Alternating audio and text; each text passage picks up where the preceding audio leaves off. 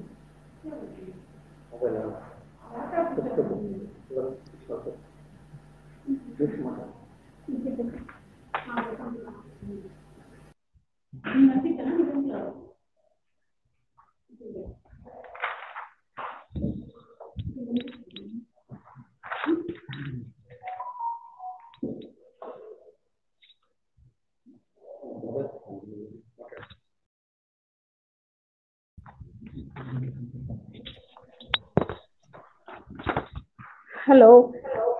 Good morning to the three-day program on National Three Days EFDP on recent trends in pharmacological research. Good and sweet morning to all the members. Today's chief guest is Dr. B. Durga Prasad, sir, Controller of Examinations, JNTUA Anantapuram. A warm welcome to the three-day program, sir. Warm welcome to you, sir. And today's speaker is K. Eswar Kumar, sir. Warm welcome to the today's function, sir. Now, it's a great opportunity for me to speak and convey my heartful, profound message to all the avid followers in this program, would includes all the states of the pharma teachers. Dreams and peaks can be achieved by continuous and consistent inspiration of learning. A well known to all is basically a lecturer or a professor is a lifelong student in his or her career because he could lecture to students or other professionals upon his everyday learning of novel items in the present functioning days. A learning of something new delivers a new message. Delivering a new message crafts students to inspire. Inspiration of students towards their ideas is the role of the teacher. I hope my message reaches to all the staff members to play their role in for themselves and healthy nation. I thank for all the management, organizers, and listeners of this three days event and do again meet with a new program.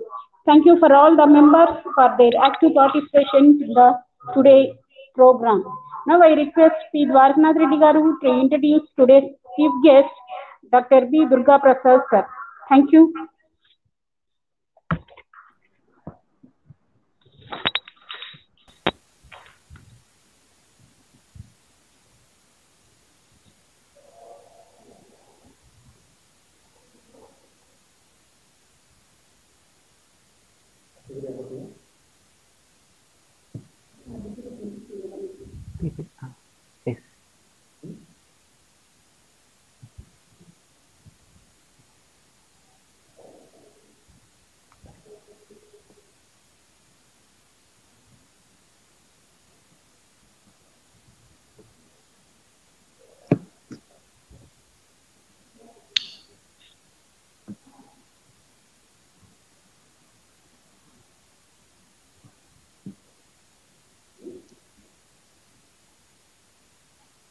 घेरो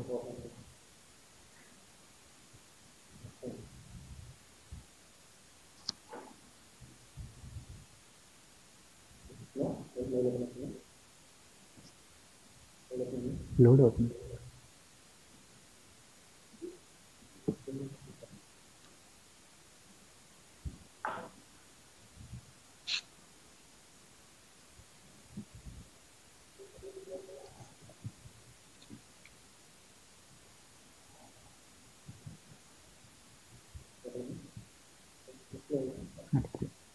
morning to all participants, teachers, research and my dear students.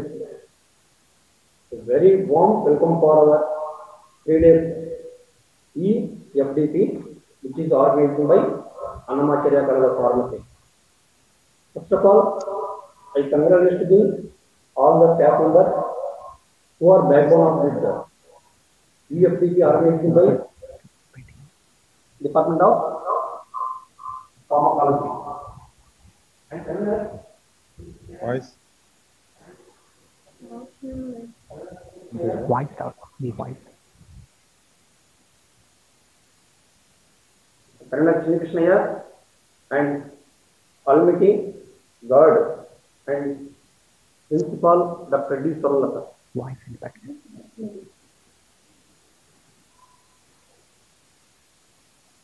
Thank you, sir.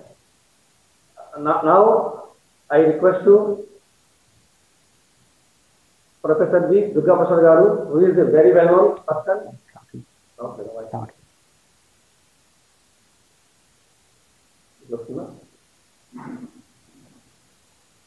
Hello. Hello. Good morning, sir. Yeah, good morning, sir. Professor Durga Prasad Garu is a very well-known person in pharmacy field and engineering college. He is uh, control of examination JE Kalpur, who received Best Teacher Award from 2017 and he is a member of ISTE institution, member of all his various authors. Sir, now I am requesting Durga Prasad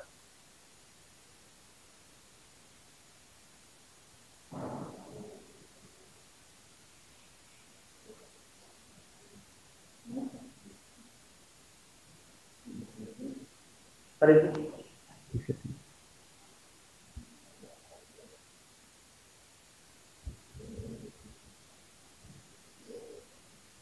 hello sir, Dwarakanath Reddy garu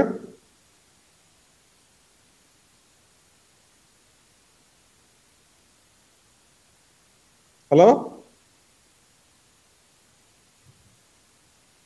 not audible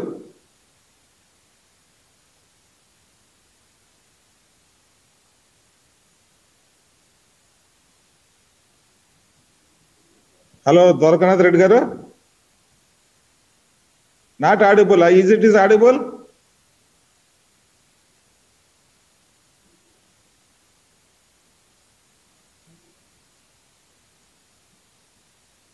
hello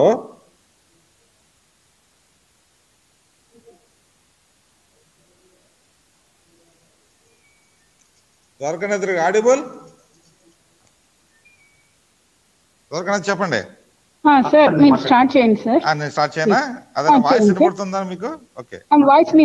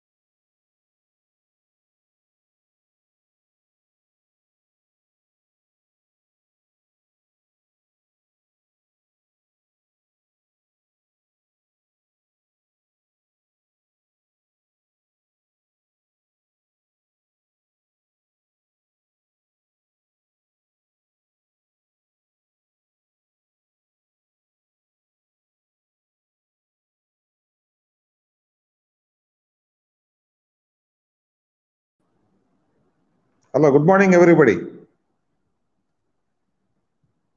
Respected Secretary Gangireddy Garu and Executive Director, Treasurer Sri Abhishek Reddy Garu, and uh, Dynamic Professor from Andhra University we have today for today's session, Eswar Reddy Garu, and uh, Principal of the Annamacharya College of Pharmacy,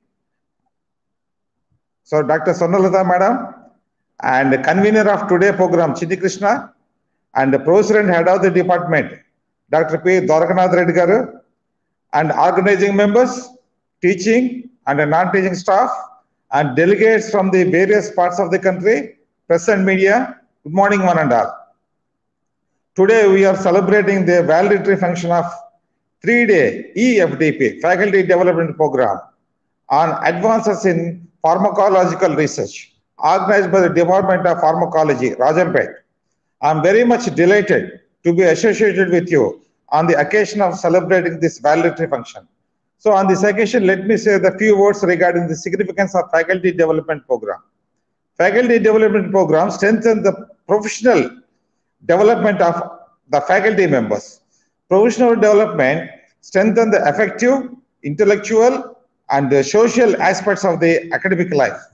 Faculty Development Program improves the academic experience at various institutions for all teachers.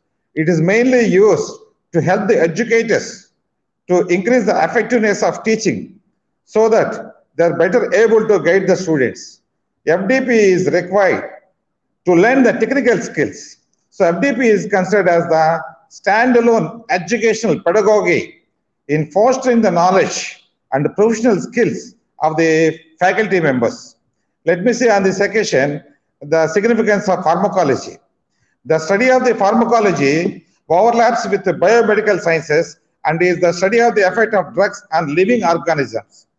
Pharmacolo- ph- pharmacological research can lead to new drugs discoveries and promote a better understanding of the human physiology. So I'm very glad to say that nearly 1000 teachers are participating on this uh, EFDP program from various parts of the country. So during, during COVID period also, the Department of Pharmacology, Annamacharya College of Pharma, uh, College of Pharmacy, Rajampet, is conducting online FDP. So I would like to appreciate the, mainly convener, Chindi Krishna, and head of the department, Dwaraka Dwarakanath for conducting this function in a grand manner. And I would like to appreciate the principal madam, Swarnalata madam, for inspiration and motivation to conduct this program. And at last, I would like to appreciate the efforts of the management, Secretary Gangareddy Garu, and uh, young and energetic Executive Director Abhishek Reddy, who are the backbone for conducting this function in a grand manner. So, um, on this during this COVID pandemic situation, I would like to request everyone stay home and stay safe. And thank you very much for giving this uh, opportunity for me. Thank you one and all, and thank you.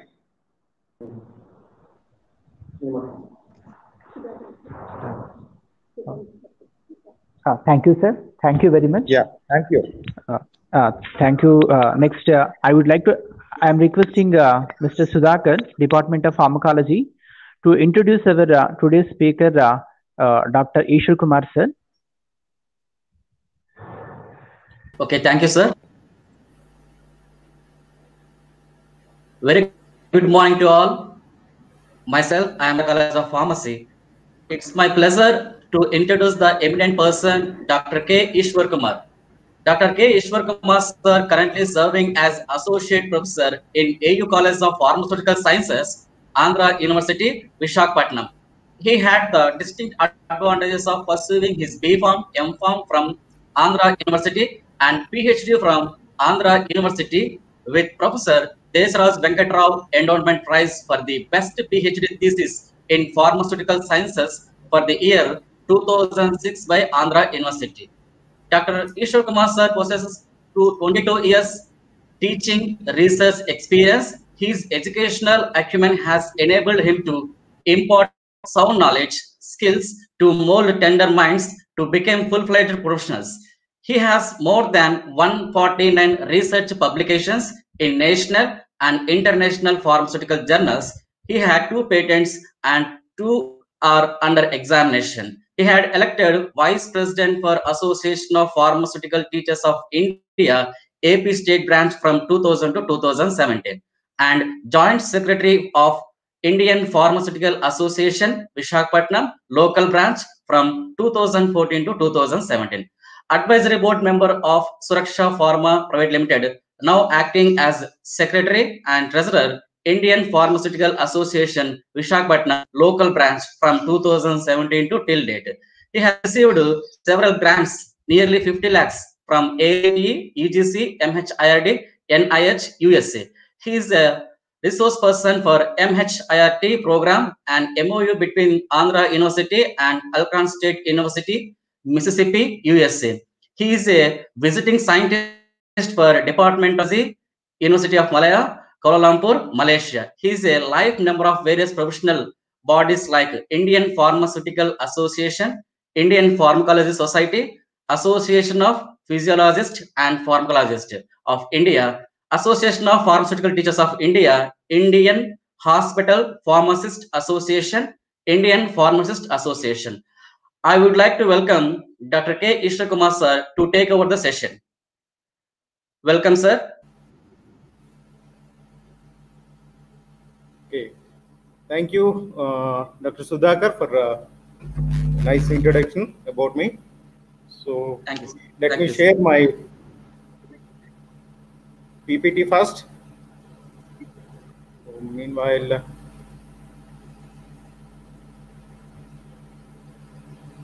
just a minute.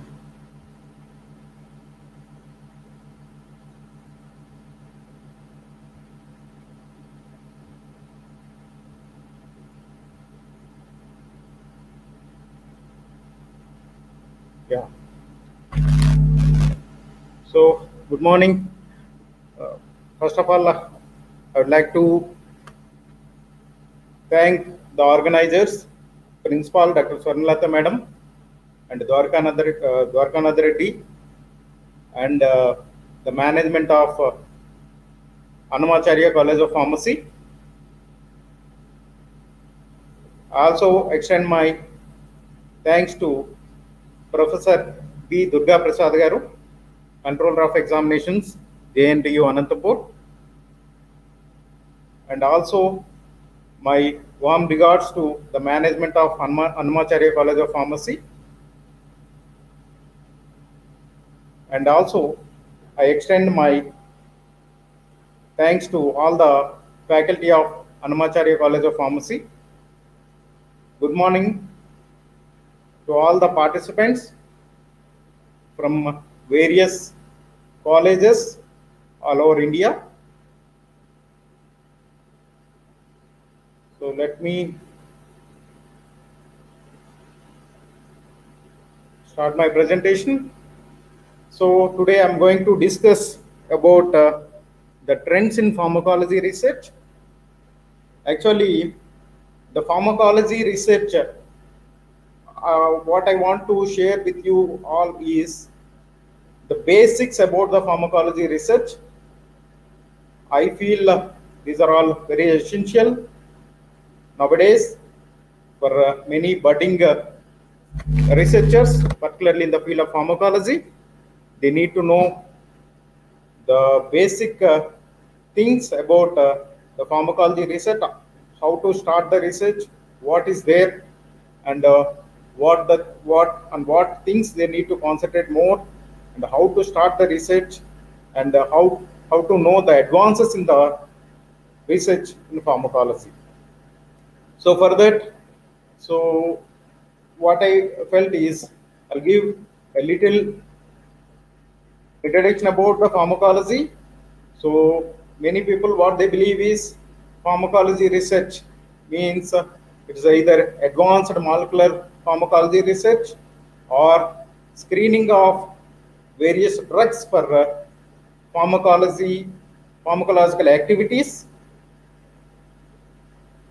Apart from that, there are many areas in pharmacology where we can do a lot of research. We need to do a lot of research. So for, for that, we need to know the various divisions of the pharmacology.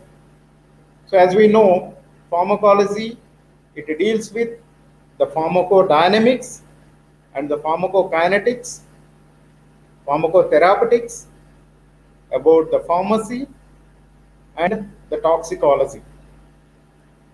So pharmacodynamics, so this is uh, why I am uh, giving this introduction is to make many people, like many students are there, so they need to understand what is pharmacology completely, then only they can concentrate more on the research. So the pharmacodynamics uh, means uh, what the drug does to the body, means after administration of the drug into the body, any of the routes of drug administration, either oral or parenteral or external routes of administration, uh, the drug, how it produces changes in the physiology of the body functions or corrects the physiology of the body functions that deals with the, the pharmacodynamics that called as the pharmacodynamics of a drug molecule.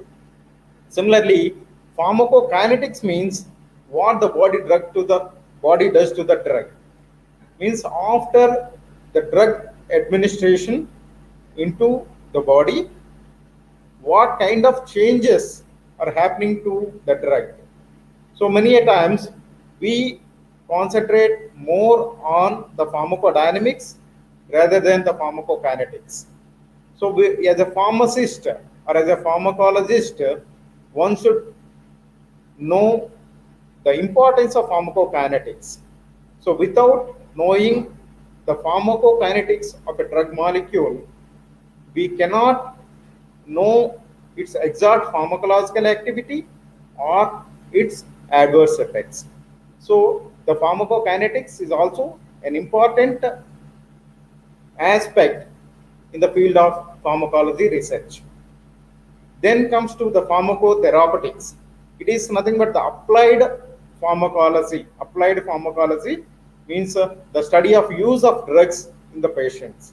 How the therapy is given to the patients.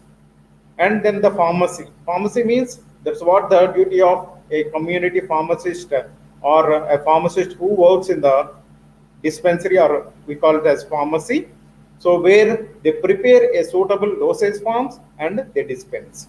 And the toxicology. So toxicology is also an important topic from the pharmacology. So one need to concentrate on the toxicological aspects of the drugs to know its safety apart from its efficacy. So let me introduce about the pharmacokinetics. So pharmacokinetics uh, is nothing but it is uh, the rate processes associated with ADME, absorption, distribution, metabolism, and excretion of drugs. So after a drug administration, a drug has to reach to the blood circulation. Then only it can carry to all the parts of our body. So once the drug is administered into the body, say it is by oral route, so it need to be absorbed into the systemic circulation or the blood circulation. So that absorption is uh, defined as the rate of the drug, the transfer of drug molecule from the site of administration into the blood circulation.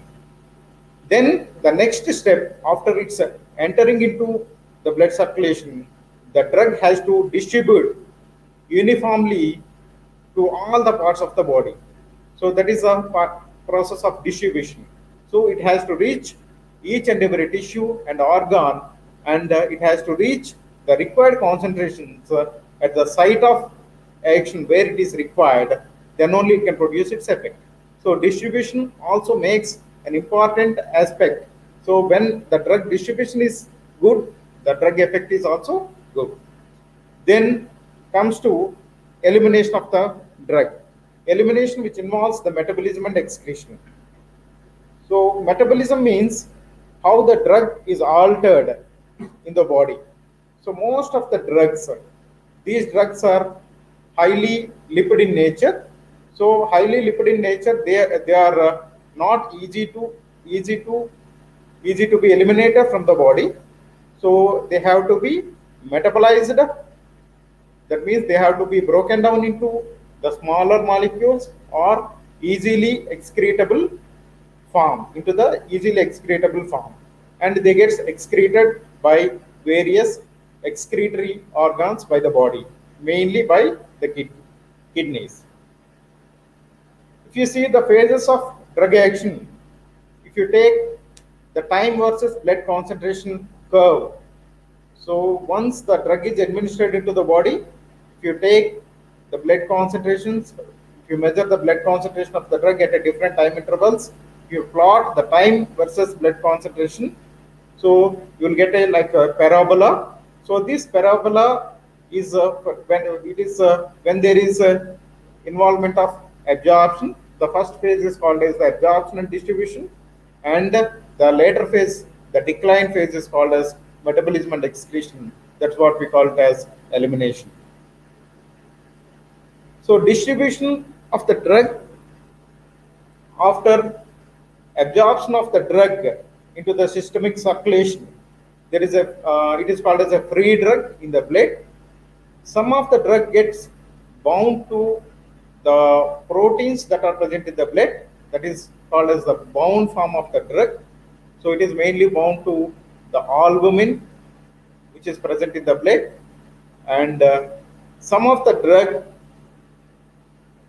gets distributed. The free drug gets distributed. It reaches to the tissues, various tissues, and the organs, where it gets stored, like uh, in the liver and other tissues. Some of the drugs get stored, and uh, some the remaining whatever that is remaining which is free in the blood circulation which acts on the receptors and it produces its effects and later the free drug which also undergoes the biotransformation that's what gets metabolized into easily excretable forms and it gets excreted from the body so the drug has to be in the free form in the blood circulation, then only it can reach to its uh, site of action and it can produce its effect. So there is called as first pass metabolism. When the drugs are administered by oral route, so they first they undergo, they go through the portal vein, hepatic portal vein, through the gastrointestinal tract and some of the drugs they get metabolized in the portal vein that is in the liver and the remaining only will enter into the systemic circulation so very few drugs they undergo this kind of first pass metabolism and uh, their bioavailability will be less compared to other drugs so this is again the time versus blood concentration curve.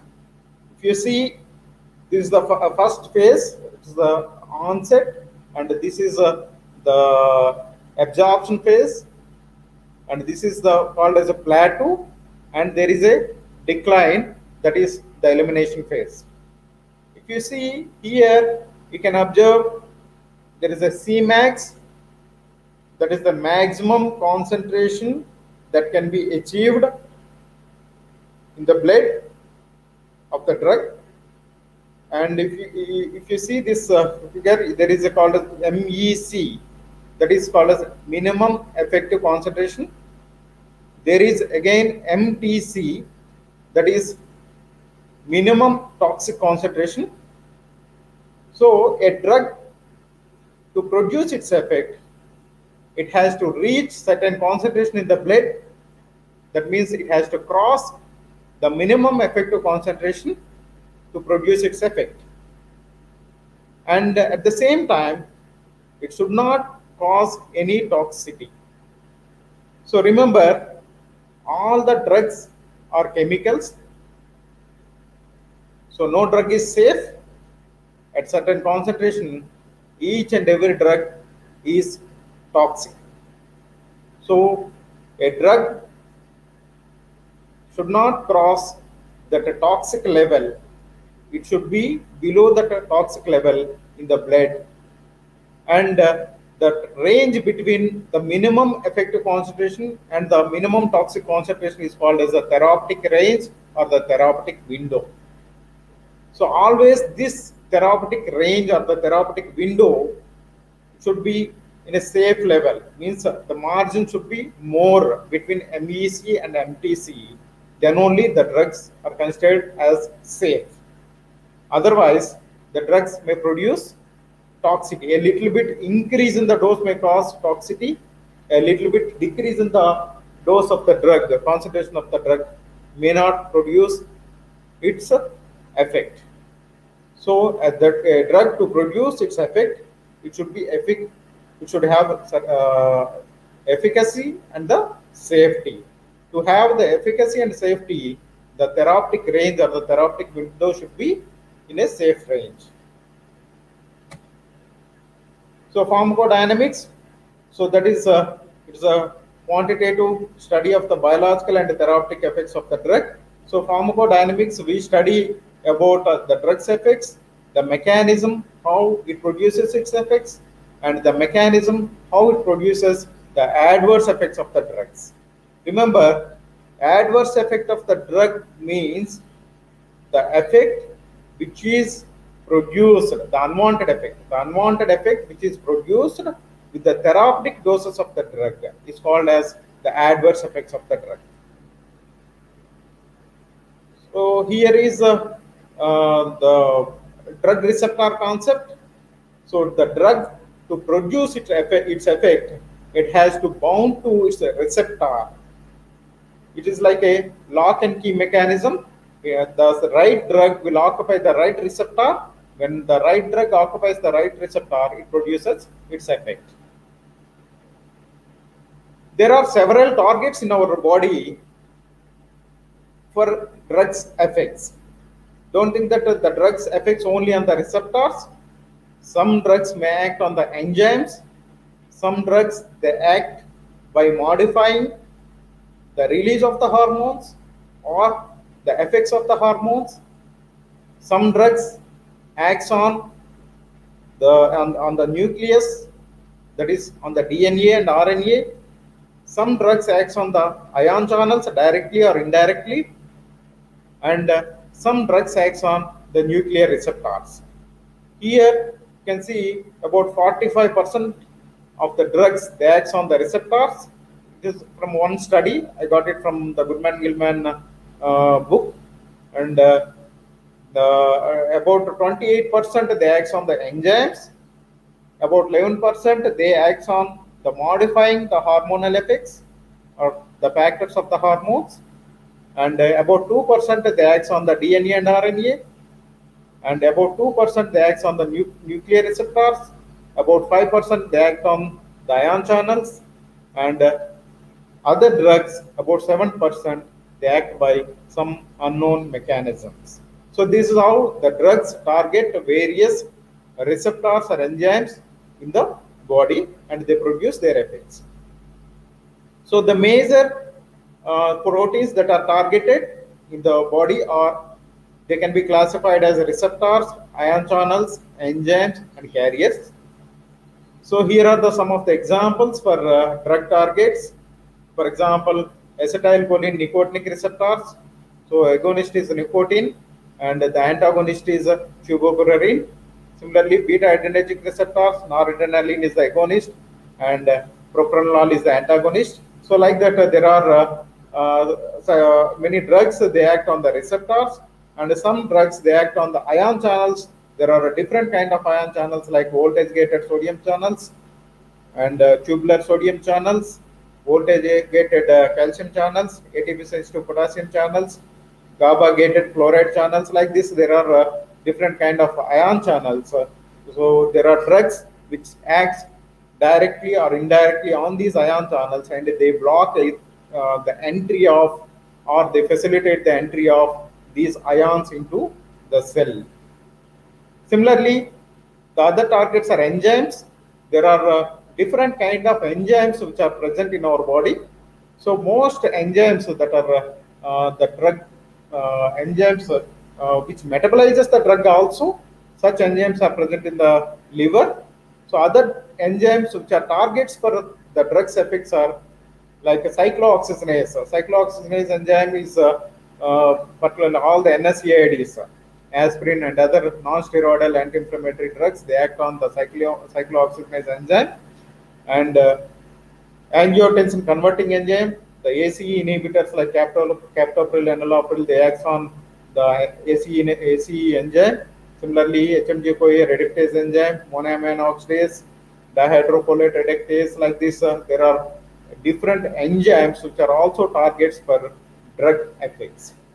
And there are carriers for drug effects, uh, drug targets, like a choline carrier, noradrenaline uptake, uptake 1, noradrenaline uptake 2, and uh, there is a sodium potassium chloride co-transport channel in the loop uh, in the loop of Henle in the kidneys and the sodium potassium pump.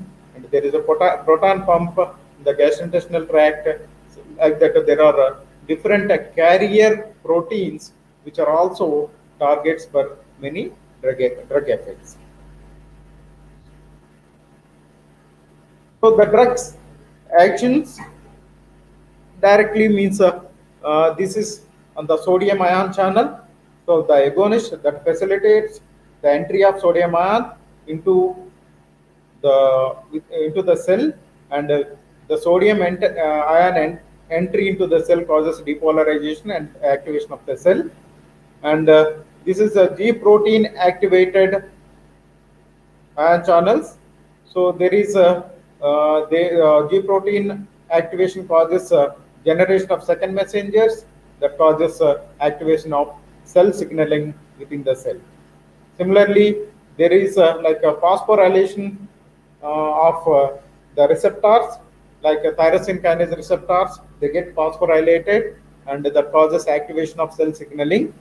So similarly, this is uh, the transport, uh, transport across the cell membrane and also into the transport into the nucleus that causes activation of uh, transcription and uh, translation processes. So this is how the drugs produces the, the effects. We know that there are uh, different uh, sources of uh, drugs. Uh, there are plant sources, animal sources, mineral source, microbiological source, synthetic sources like that, semi-synthetic sources. And nowadays, many drugs are obtained by recombinant DNA technology. One such example is human insulin, which is called as humulin, and growth hormone like this. There are uh, different uh, sources of drugs. So coming to the process of drug development. So what I want to uh, say here is uh, just uh, first you know what is pharmacology and uh, then how the drugs are developed by different phases in the different phases and how they are subjected for pharmacological research for, for screening of pharmacological activities. If you see, uh, there are different stages in the drug development. First of all, there is a target uh, selection, means uh, where to target uh, the drug, uh, where to be targeted, means uh, for what purpose it is needed. That is the drug targeting. It is either at a cellular level or genetic level or genomic level, proteomics or bioinformatics. That is depending upon uh, target uh, target selection. So we we have we have we choose uh, the targets. Then after uh, knowing the target, and we need to discover the lead lead molecule. So the lead molecule either it is obtained from natural sources or it can be synthesized or isolated from natural sources and it can be prepared by combinatorial chemistry or can be developed by different SCS and also can be used can be developed by using high throughput screening. So lead discovery after lead discovery, uh, then uh, it, it has to be uh, checked. It has to be checked for uh, targeting whether it is targeting our target or not. That is by using the medicinal chemistry library. So there are uh, several libraries are uh, available uh, on the net, and uh, uh, there are different softwares are available for in silico screening, or you can say in, in silico screening. So using this the software, so we can know whether our lead molecule can target uh, the selected target or not. We can know from this uh, medicinal chemistry library, uh, and then after knowing the preliminary information about the lead molecule, so whether it can target the required target or not, then we can go for the in vitro studies. The in vitro studies to know the drug affinity and selectivity. So once uh, knowing the target and uh, lead lead molecule, so by in vitro studies we can know whether it is having affinity towards the target or not, affinity and selectivity. Then by using different uh, uh, disease models also we can uh, do some studies to know the affinity, not only direct models and also we can use some disease models also. We can also know the mechanism, how they are targeting and we can refine the lead candidate by doing uh, different uh, in vitro studies.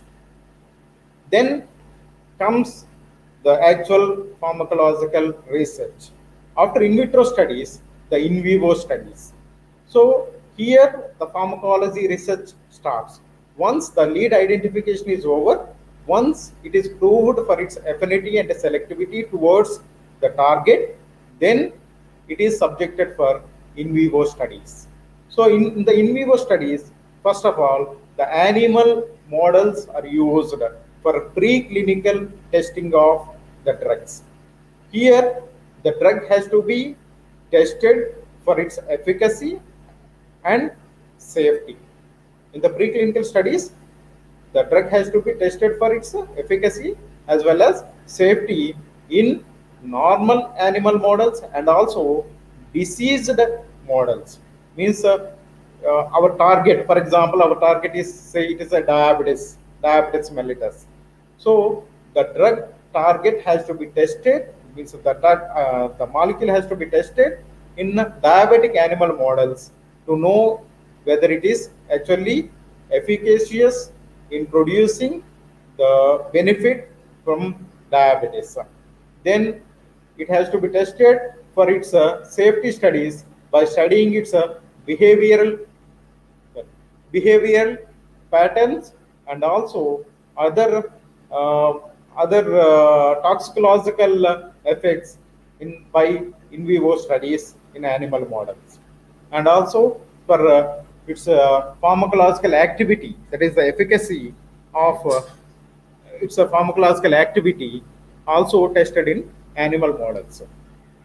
So if you see the types of preclinical studies the preclinical studies are can be divided into in vitro and in vivo so in the in vitro studies we can uh, do receptor characterization uh, receptor binding assays, enzyme inhibition, and messenger analysis, cytotoxic activity, all these studies can be conducted by in vitro studies.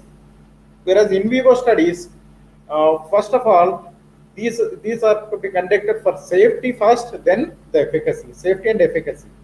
And for safety, the toxicological studies are conducted in animal models and basing on the, these both these studies, pharmacological and toxicological studies, a dose is fixed for clinical studies. A, uh, a starting dose to be administered for clinical studies can be known from the pharmacological and toxicological studies. Now, let us go into in detail about uh, the different studies, in vivo studies, how they are conducted at different phase wise and also I'll give you some examples of our studies in this.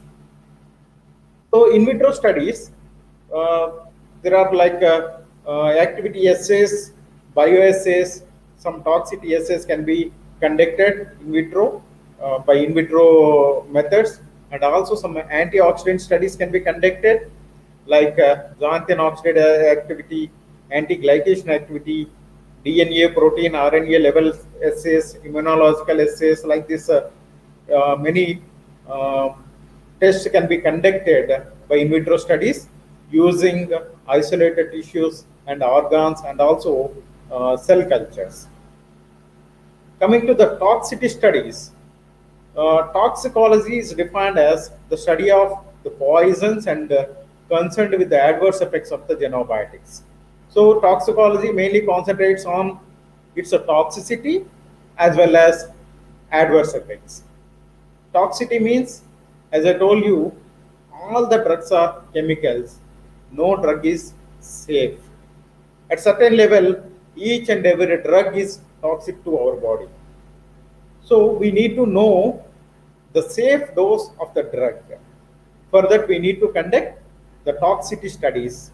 And uh, at the same time, even at therapeutic doses, means the doses which produce the required therapeutic effect, even at, the, at, that, at those at that doses also, the drugs may produce some adverse effects. So these two kinds of studies are uh, uh, patterns of the drugs are known by toxicity studies.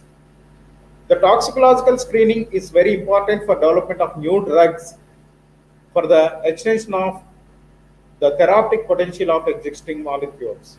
So the safety of is to be established first for, for the development of new drugs and uh, the toxicity tests are mostly used to examine specific adverse effects or specific endpoints such as cancer, that is a carcinogenicity or cardiotoxicity or skin irritation or eye irritation or li- like that. So there are uh, means uh, either directly how it produces its effect, it may be a direct effect uh, with a single dose, it, may show its adverse effect.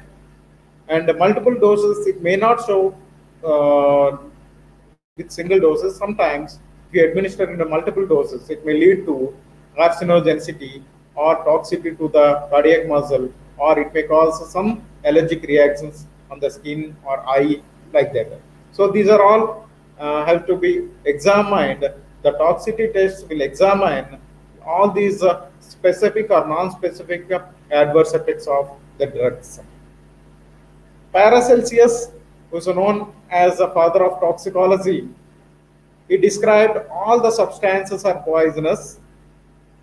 There is none which is not a poison.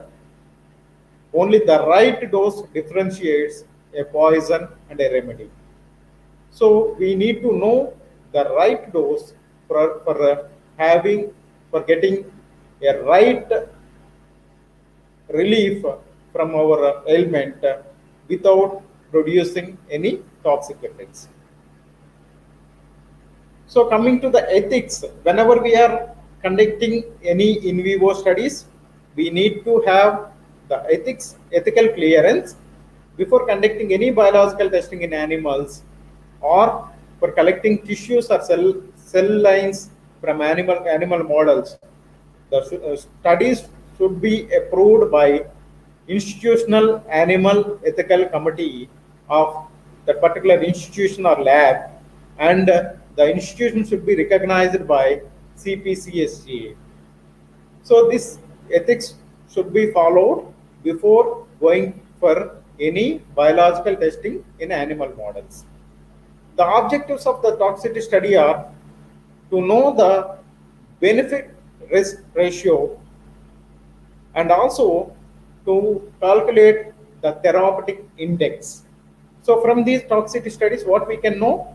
We can know the risk benefit ratio and also we can calculate the therapeutic index. What I told you is the therapeutic margin, the, the margin between minimum effective concentration and the maximum toxic concentration, minimum toxic concentration. So that therapeutic index can be calculated by knowing the maximum tolerated dose and minimum curative dose. So the ratio of this ma maximum tolerated dose and minimum curative dose, the ratio is smaller, it is having, we can say it is having good safety. So that's how from the toxicity studies we can know the risk benefit ratio as well as the safe dose of the drug. There are different types of toxicity studies. These uh, toxicity studies uh, are conducted for any new substance before going for the actual efficacious studies in, an, in animal models. First of all, the acute toxicity studies are conducted. Acute toxicity study means the toxicity which results with the single dose administration of the drug.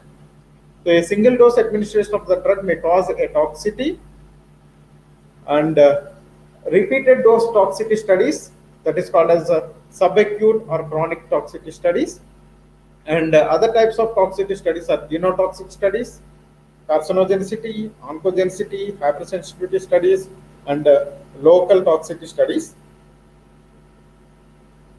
Coming to acute toxicity study it is a single dose study. Normally two different animal species are used. Normally a rodent species like a rat or mice and a non-rodent uh, animal species uh, like a rabbit. So any two different animal species are can be used. And uh, the observation for uh, starting from 3 days to 14 days depending upon the type of activity that is required for uh, means uh, the the molecule which is subjected for the kind of activity. If the if the molecule is, is for a short period the observed toxicity can be 3 to 3 to 5 days and if it is for a longer period the toxicity has to be observed for 14 days. So mortality in, in this uh, acute toxicity study uh, normally the drugs are administered by oral route and uh, the mortality is recorded. The num- number of animals that are uh, uh, died during uh, the 3 to 14 days period and other parameters that are that need to be investigated are morphological biochemical pathological and histological changes in the dead animals. So after the death of the animals the animals tissues need to be isolated and they have to they have to be studied for their morphological changes biochemical changes pathological and histological changes. And from this acute toxicity study we can determine the ld50 dose. Ld50 dose means the dose which is required to kill 50% of the animals in 24 hours of the study. So that is called as ld50 dose. From that ld50 dose we can calculate the dose the safe dose that can be administered to the animals for safety uh, for efficacy studies. So this ld50 determination can be calculated from graphical method and there is called as arithmetic method when the number of animals is uh, small this arithmetic method can also be used. According to oecd organization for economic cooperation and development so oecd guidelines uh, so most of the toxicity studies uh, that are conducted as per oecd guidelines. So oecd guidelines states that there are different uh, test guidelines uh, given uh, by oecd for acute toxicity uh, there is a test guideline 420 which uh, describes about uh, fixed dose or limit test. So in this uh, usually the plant substances so many means uh, many researchers they screen the herbal drugs which are likely to be safe.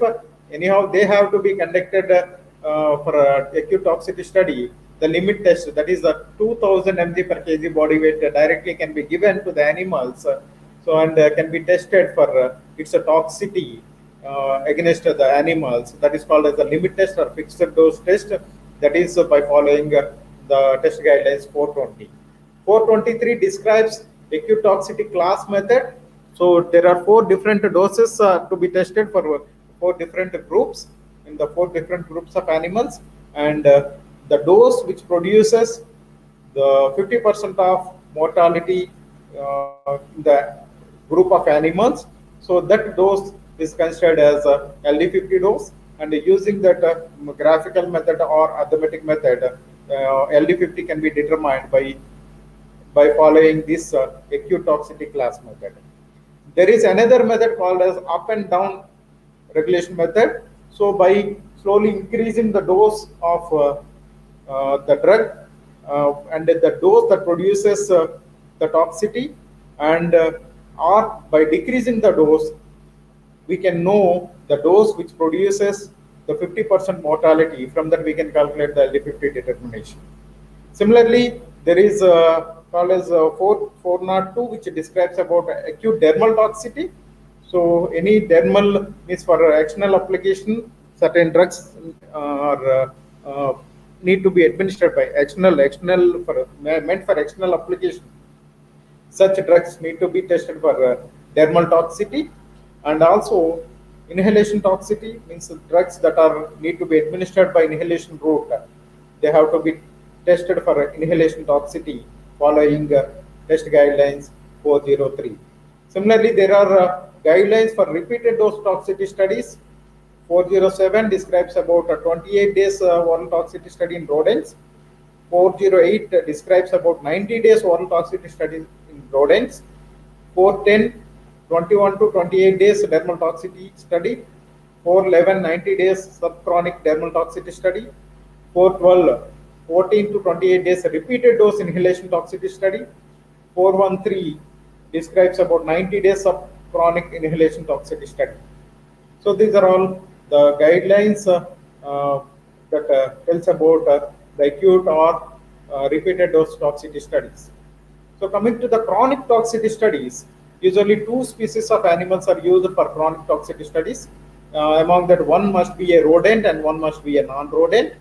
So remember, whenever you are conducting any toxicity studies, uh, it has to be conducted in two different species, and out of these two different species, one must be a rodent and one must be a non-rodent.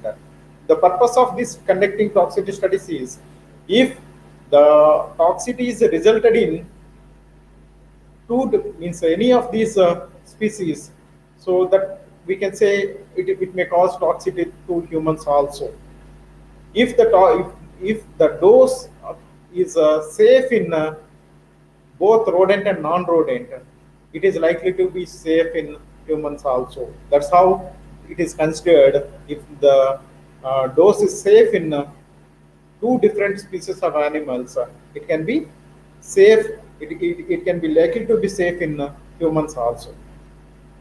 The test compound is administered for more than 90 days in case of uh, chronic toxicity studies. The animals are observed periodically.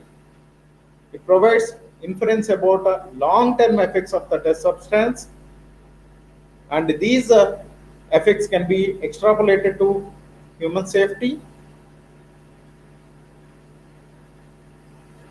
So, if this kind of reports on chronic oral toxicity, they are very essential for uh, new drug entities.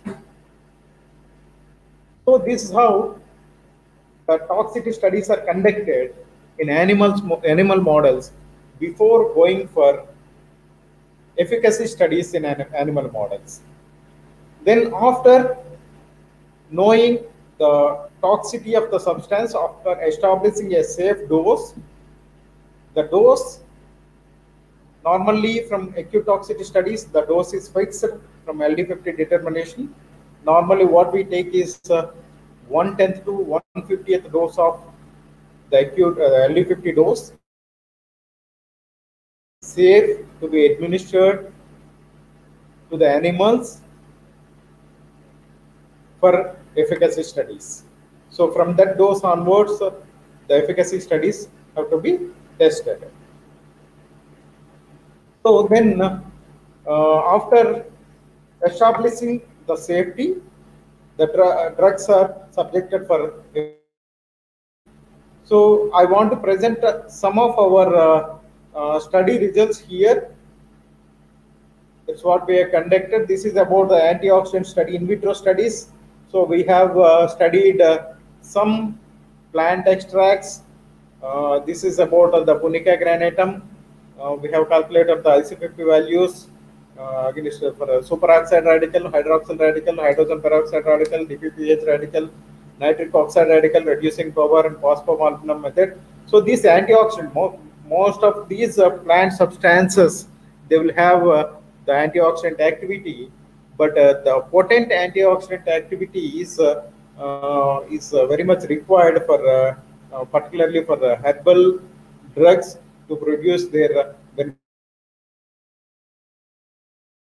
conduct uh, in vitro antioxidant studies uh, before going for any um, in vivo efficacious uh, studies. Then antimicrobial study, this is another kind of study for uh, uh, in, vit- in vitro activity.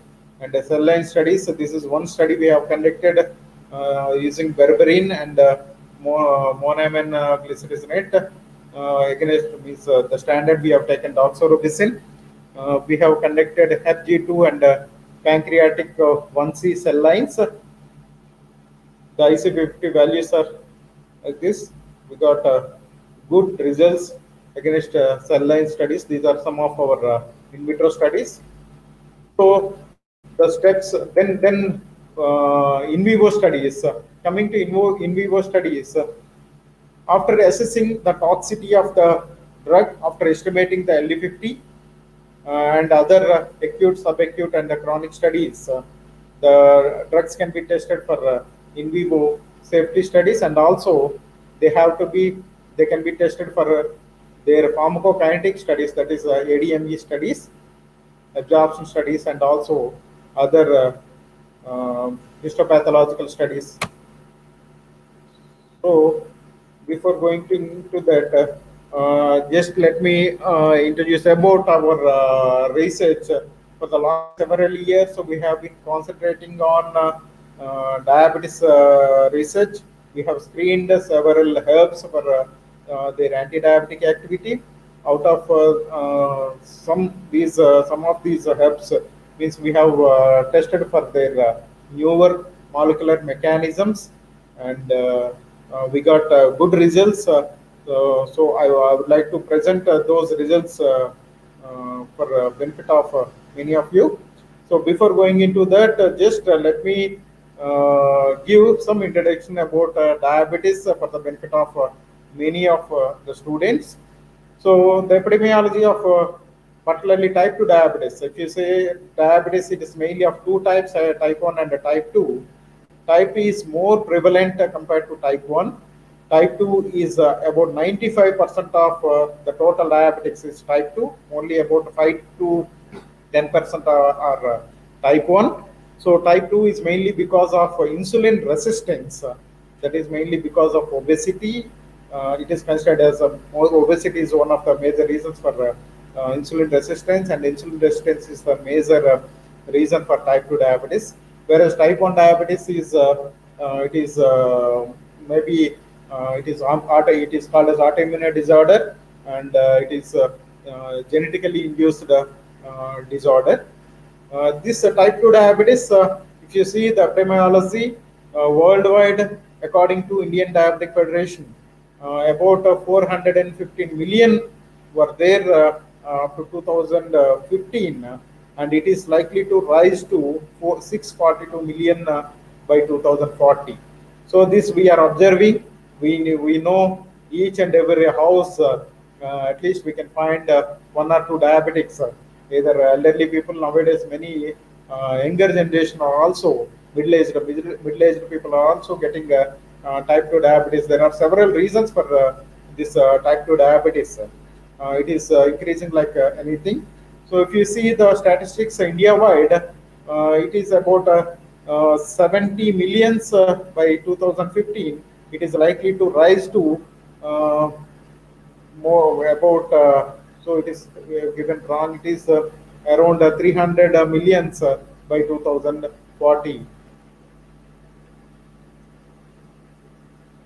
See, uh, if you see the diabetes, the major, uh, the problem with the diabetes, uh, diabetes itself may not be a much problem. It may not cause much problem until unless it causes hypoglycemia.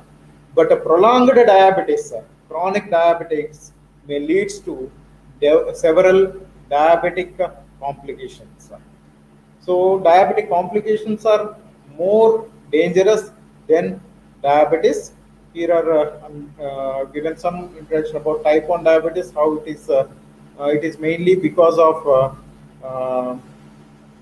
autoimmune disorder. So this is a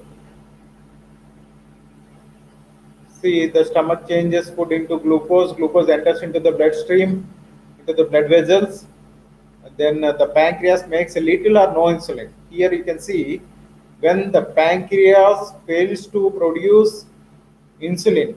Insulin either it uh, may not synthesized in the pancreas and against rise in glucose levels there is no release of insulin and uh, such condition is called as type 1 diabetes mellitus.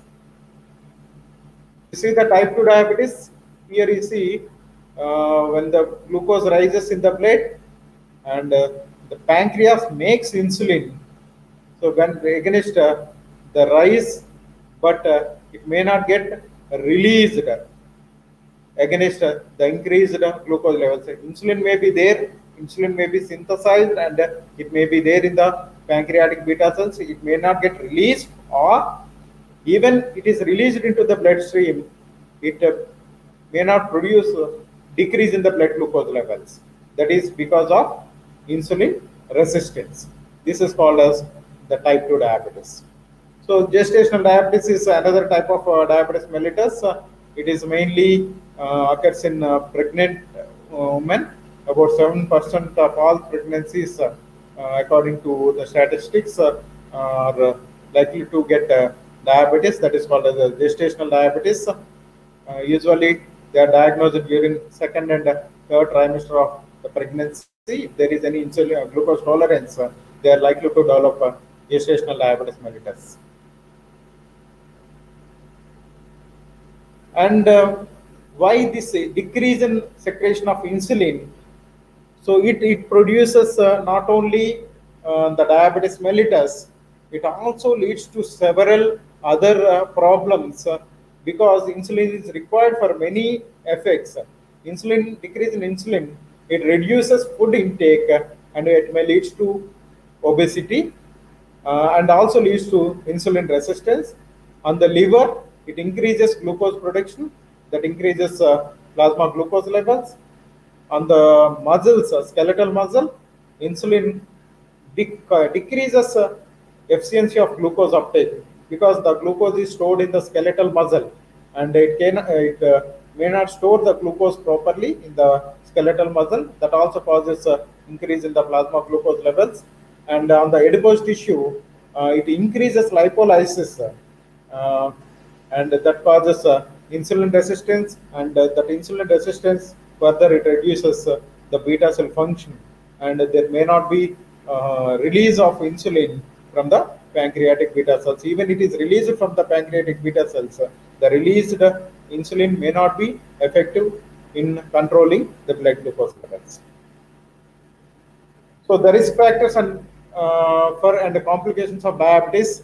So as i told you the diabetes itself is a uh, is not a dangerous disorder i can say until unless it, it, it produces the hypoglycemia sudden hypoglycemia. But the chronic diabetes may leads to several complications the increased means uh, the excess glucose in the blood uh, which may be converted into other toxic forms in the body. So they cause uh, different uh, failure of uh, different organs. For example, it causes diabetic retinopathy, retinopathy, um, and also by by it reduces the effectiveness of the neurons that causes neuropathy, and uh, mainly it acts on the kidneys and causes nephropathy, and on the vascular uh, cardiovascular uh, ca- cardiac muscle causes cardiovascular disease, and also it causes ulcers, foot ulcers, and that may lead to amputations. So these uh, these are all the complications of diabetes. So the diabetes, uh, the reasons for diabetes may be the overweight and obesity, some genetic factors, and the family history of diabetes. High blood pressure also causes uh, sometimes diabetes, and also the medication which is used for high blood pressure are uh, likely to cause diabetes. Uh, many times, uh, particularly calcium channel blockers, uh, that causes uh, prolonged usage of calcium channel blockers may lead to diabetes mellitus, and also gestational diabetes. These are all the risk factors for diabetes, and on the right side, these are all the complications of diabetes mellitus. There are molecular mechanisms uh, of diabetes mellitus.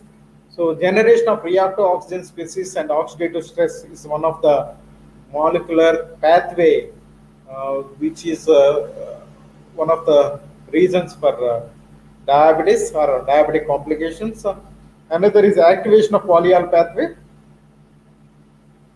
Then formation of advanced glycation end products, alteration in the gene expression levels, and induction of flux through hexosamine pathway, activation of protein kinase C, and obesity.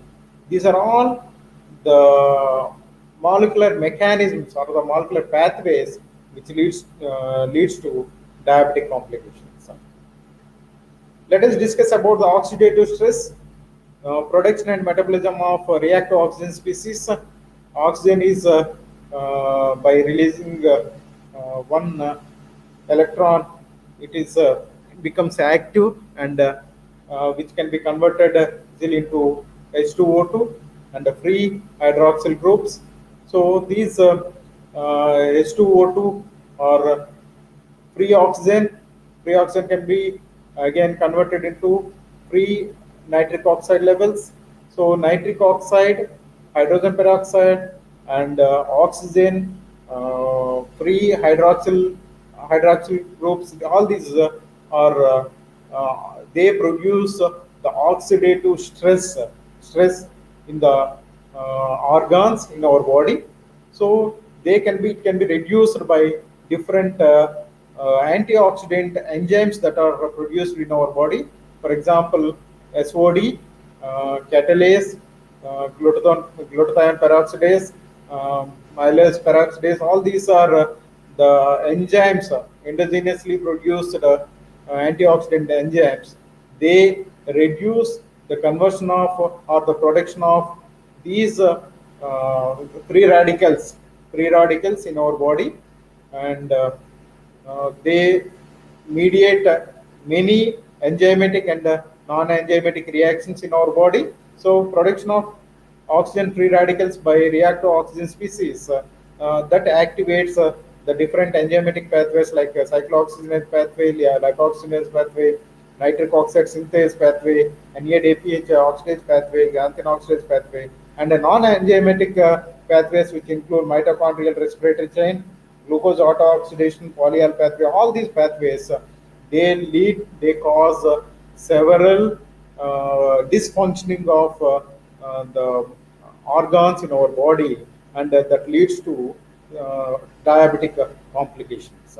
So diabetes causes a generation of all these free radicals. Remember, generation of free radicals in our body develops, causes diabetes and the diabetes itself it causes a generation of free radicals, all kinds of free radicals, oxygen free radicals, nitric oxide free radicals, and uh, other uh, uh, hydrogen peroxide, hydroxyl radicals. All these ra- radicals are released uh, in, in uh, diabetic individuals. They mediate different enzymatic and non-enzymatic reactions in our body, and that leads to different uh, diabetic complications. So there are antioxidant enzymes. So as I uh, explained you uh, the earlier slide, there are endogenous uh, antioxidant enzymes which are released in our body like uh, glutathione, catalase, superoxide dismutase, SOD, uh, coenzyme Q10, uh, CYP, uh, cytochrome C peroxidase, glutathione peroxidase.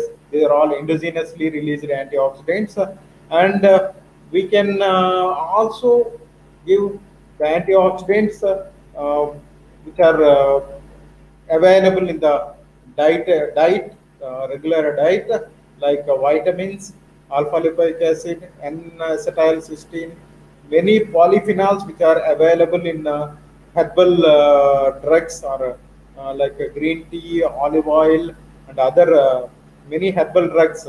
They produce their beneficial effects against oxidative stress through their active constituents that they are, uh, they are having. They are mainly, most of them are uh, polyphenols and also proanthocyanidins, uh, which are present in like uh, red wine, blueberries, chocolates, and uh, these are all uh, uh, rich sources of uh, proanthocyanidins. And another is uh, uh, resveratrol, ginseng. All these are the dietary antioxidants uh, which help in the controlling of the oxidative stress uh, um, produced by the diabetes uh, to reduce uh, the diabetic complications, development of diabetic complications. So we have screened some of the some of our compounds for uh, uh, their antioxidant activity against different uh, radicals by in vitro studies. One example is aqueous pericarp extract of Punica granatum. So these these are the these are our results. We have published uh, all these uh, results, and uh, the aqueous uh, pericarp extract of uh, the Punica granatum shown to have a very good uh, antioxidant activity. Then advanced glycation products is another mechanism by which the diabetes uh, causes means increased glucose, levels in the blood causes diabetic complications by developing the formation of advanced glycation end products. Say there is increased glucose in the blood in case of diabetics. This increased glucose, free glucose, which reacts with amino acids in our body and that forms a Schiff bases. So this reaction happens uh, uh, hours to days uh, in our body. These Schiff bases uh, are converted into immediately into Amadori products. Amadori products are unstable products. They they are produced within uh, days to weeks uh, in our body. These Amadori products are converted into advanced glycation end products. These advanced glycation products are the it's nothing but uh, the combination of the glucose and the amino acids. So that binding most of the times is irreversible. Some are reversible also. That uh, glucose and amino acid binding uh, that uh, that causes uh, generation of uh, advanced glycation end products. Uh, it uh, takes weeks to months to produce uh, these advanced glycation end products. Uh, uh, advanced glycation end products are CML, uh, pyrraline, and the pentosidine. These are the advanced glycation end products which are produced in our body. Okay, and also these uh, advanced uh, glycation end products are also pro- produced by other pathways like uh, lipid peroxidation, direct oxidation, auto oxidation of the glucose, and also sorbitol pathway. Um, so by these pathways are also uh, also they produce uh, alpha oxaloaldehydes. These are uh, nothing but advanced glycation end products. These are called as methyl glyoxal, glyoxal, 3-deoxy glucosone. These these are the uh, advanced glycation products. This is how the glucose reacts with the protein. That is the protein uh, amino acids, and that forms AGEs. That is this the AGE forms cross-linking between different uh, proteins in our body, and that causes stiffness in the heart, bone, and muscles, and that causes damage to the smaller blood vessels.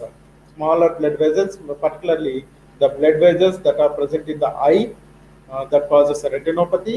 The smaller blood vessels that are present in the kidneys, that causes uh, um, uh, nephropathy. So, like that, uh, even uh, smaller blood vessels, it, it also causes other vascular complications and cardiovascular complications. There are certain drugs that are available, like aminoguanidine, benfotiamine. These are the some of the drugs which can inhibit uh, the AGE formation. Aminoguanidine, pyridoxamine, uh, LR90, like this. These are all still some are under uh, clinical trials, which are effective against uh, diabetic complications, uh, which can block the formation of AGEs. But all these uh, AGE inhibitors, uh, they are not much uh, available uh, for clinical use because of their adverse effects. So that is mainly because of uh, their induction, induction nature of auto antibodies. They induce uh, uh, generation of auto antibodies, and some of them are having flu-like syndrome. They elevate liver microsomal enzyme levels. Uh, they uh, act as uh, inducers of liver microsomal enzymes. Uh, they, some of them are called cause anemia, proteinuria. Some are reported for cardiovascular death and uh, increase in blood pressure. So these are the uh, some of the adverse effects of the anti anti AGE substances. Then what we thought we uh, then uh, uh, tried for uh, anti AGE substances from natural sources. So we have uh, studied some of the fruit uh, uh, fruit pericarps, fruit pericarp of Punica granatum, Lichichinensis, Feronia limonia, and uh, Momordica. All these are edible fruits, and uh, we have uh, taken the fruit pericarp and we have isolated. So we have to prepare some extracts of these fruit pericarps, and uh, we have tested for their uh, anti-glycation uh, activity, apart from its anti-diabetic activity. So that is one uh, good study uh, we, we could publish and we got a, a very good publication in uh, reputed journals. I'll show you the journals uh, at the end of my lecture. So another important uh, uh, research discovery in our lab that is altered gene expression. So we have concentrated mainly on the gastrointestinal tract. So we know the diabetes mellitus is uh, mainly because of uh, improper or uh, impaired insulin secretion from the pancreatic beta cells. But that pancreatic functioning is mainly depends upon the hormones that are secreted from the gastrointestinal tract. So these hormones are all ca- uh, called as incretin hormones. These uh, gastrointestinal hormones, uh, they released in response to the incoming nutrients. Uh, in response to the whatever the food we ingest into so depending upon the quality and the quantity of the food, these gastrointestinal hormones are released. So the main two hormones that are released in the gastrointestinal tract, they are called as gastric inhibitory polypeptide GIP, glucagon-like peptide 1 GLP-1. These two are called as the incretin hormones. They are secreted from the wall of the gastrointestinal tract, and they are responsible for mainly uh, they maintain uh, the pancreatic function in controlling the release of insulin and other hormones apart from their other beneficial functions on other organs if you see the gastrointestinal tract uh, see this is the esophagus you can see this is uh, jejunum part the this is the ileum part so three divisions of uh, the small intestine, duodenum, jejunum, and ileum. This is the colon, large intestine, so appendix. See here, in this uh, uh, ileal portion, L cells are present. These L cells, they are rich in proglucagon levels. Proglucagon, which is a precursor for this GLP-1 and GIP. This proglucagon, which is converted to glucagon by prohormone convertase enzyme 2, PC2. So, which is uh, uh, converts proglucagon into glucagon. This happens in the intestine, the L cells of uh, the ileum, and also the same enzyme, prohormone convertase enzyme, which is also present in the pancreas, where it produces glucagon from proglucagon, which is present in the pancreatic cells. Similarly, there is another hormone, uh, PC1 by 3. So this uh, PC1 by 3, which produces GLP-1 from proglucagon. This uh, GLP-1, which acts on GLP-1R receptor on the pancreatic beta cell, and that causes a release of glucose-mediated insulin. So this GLP-1 is mainly responsible for release of insulin. What we understand mm, earlier was the glucose, the insulin is released from the pancreatic beta cells in response to increased glucose in the blood. But that is not actually true. Now et al. they conducted a study. They were given oral glucose and also IV glucose. They found that oral glucose is having more insulin release from the pancreatic beta cells compared to the glucose that is ingested by intravenously directly into the blood. So from that, they understand that there is something which is released from the gastrointestinal tract, which is responsible for stimulating the release of insulin from the pancreatic beta cells.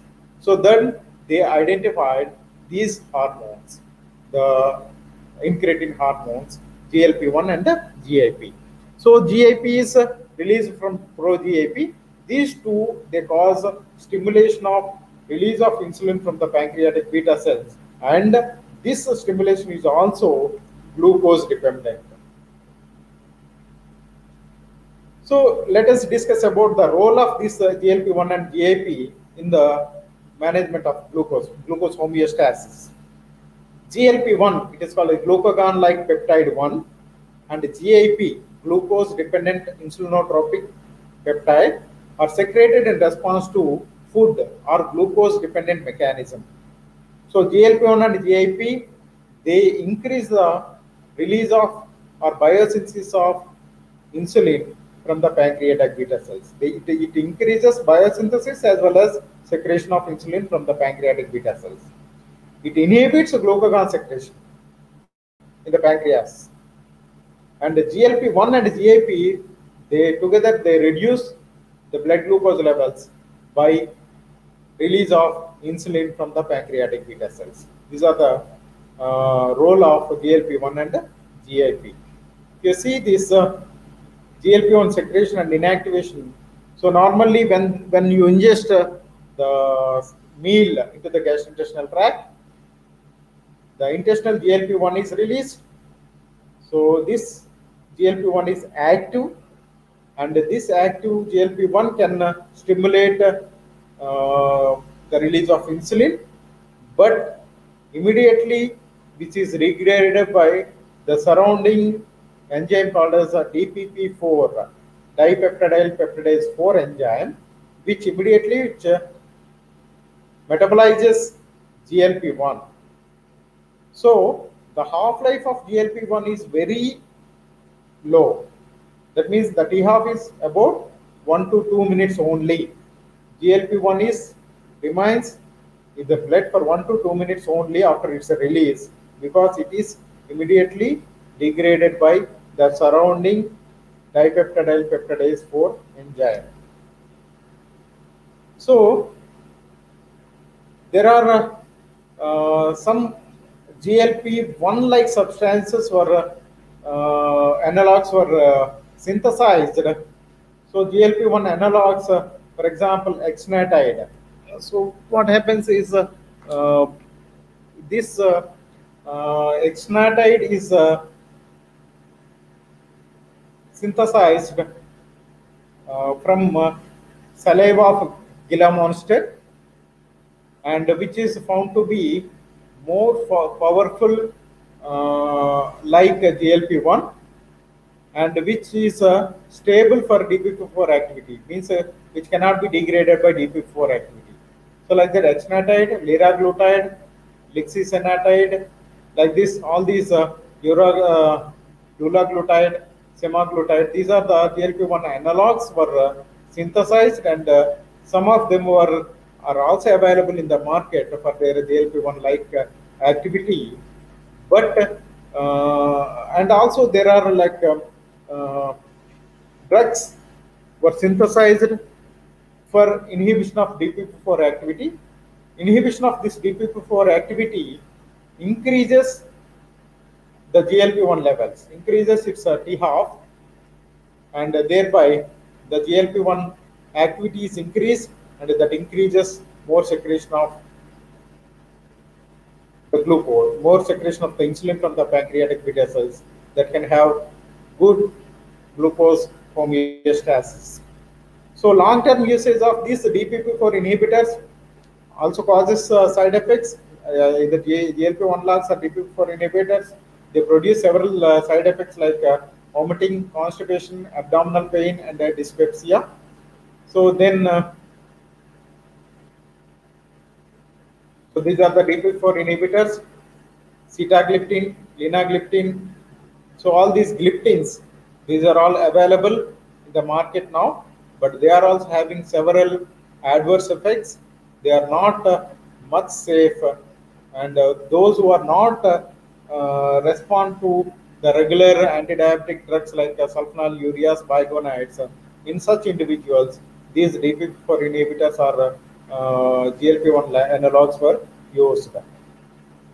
So these are the side effects of the DPP-4 inhibitors: pancreatitis, angioedema, infective disorders, headache, hypersensitivity reactions, skin reactions, or several adverse effects were reported with these uh, DPP-4 inhibitors. Then what we thought, uh, we have uh, developed a certain uh, um, herbal-based DPP-4 inhibitors and uh, GLP-1 analog, uh, GLP-1 analogs. Uh, we have tested uh, all these uh, herbal extracts. This is the pericarp extract of uh, limonia. So this uh, we have uh, tested for its anti-diabetic activity, and uh, it has got a good activity against the diabetes, having good control of uh, blood glucose levels. Here I'm showing only the triglyceride and cholesterol, uh, all lipid parameters, and uh, having good control on uh, lipid parameters also in normal as well as in streptozotocin induced diabetes diabetic animals. These are the control animals, diabetic control animals, standard sitagliptin treated animals. This is uh, methanolic uh, pericarp extract of uh, Feronia limonia 150 mg 200 mg. These are the results. I got good uh, results, and this also we have published already. And another results with the pericarp extract of punica granatum. This is on the urine analysis. So these are all uh, the supportive parameters uh, uh, in uh, diabetic uh, uh, to test the diabetic uh, uh, against diabetic nephropathy activity. Uh, we have uh, tested for uh, different uh, uh, nephropathic uh, parameters, uh, kidney parameters like uh, creatinine, urine volume, creatinine clearance, uric acid, and urea levels, and both uh, both the doses they produce the dose dependent uh, activity 50 mg and 100 mg of uh, granatum. These are the results, and this is. Uh, uh, and they found to have a good activity. Uh, they found to improve the endogenous antioxidant levels, endogenous antioxidant levels like SOD, catalase, uh, GSH, and uh, uh, AR. This is uh, about uh, another plant extract, uh, Syzygium aldraconium. So this is also uh, we have tested against uh, STZ induced in diabetic rats. It's a 21 day study. So they have a good control.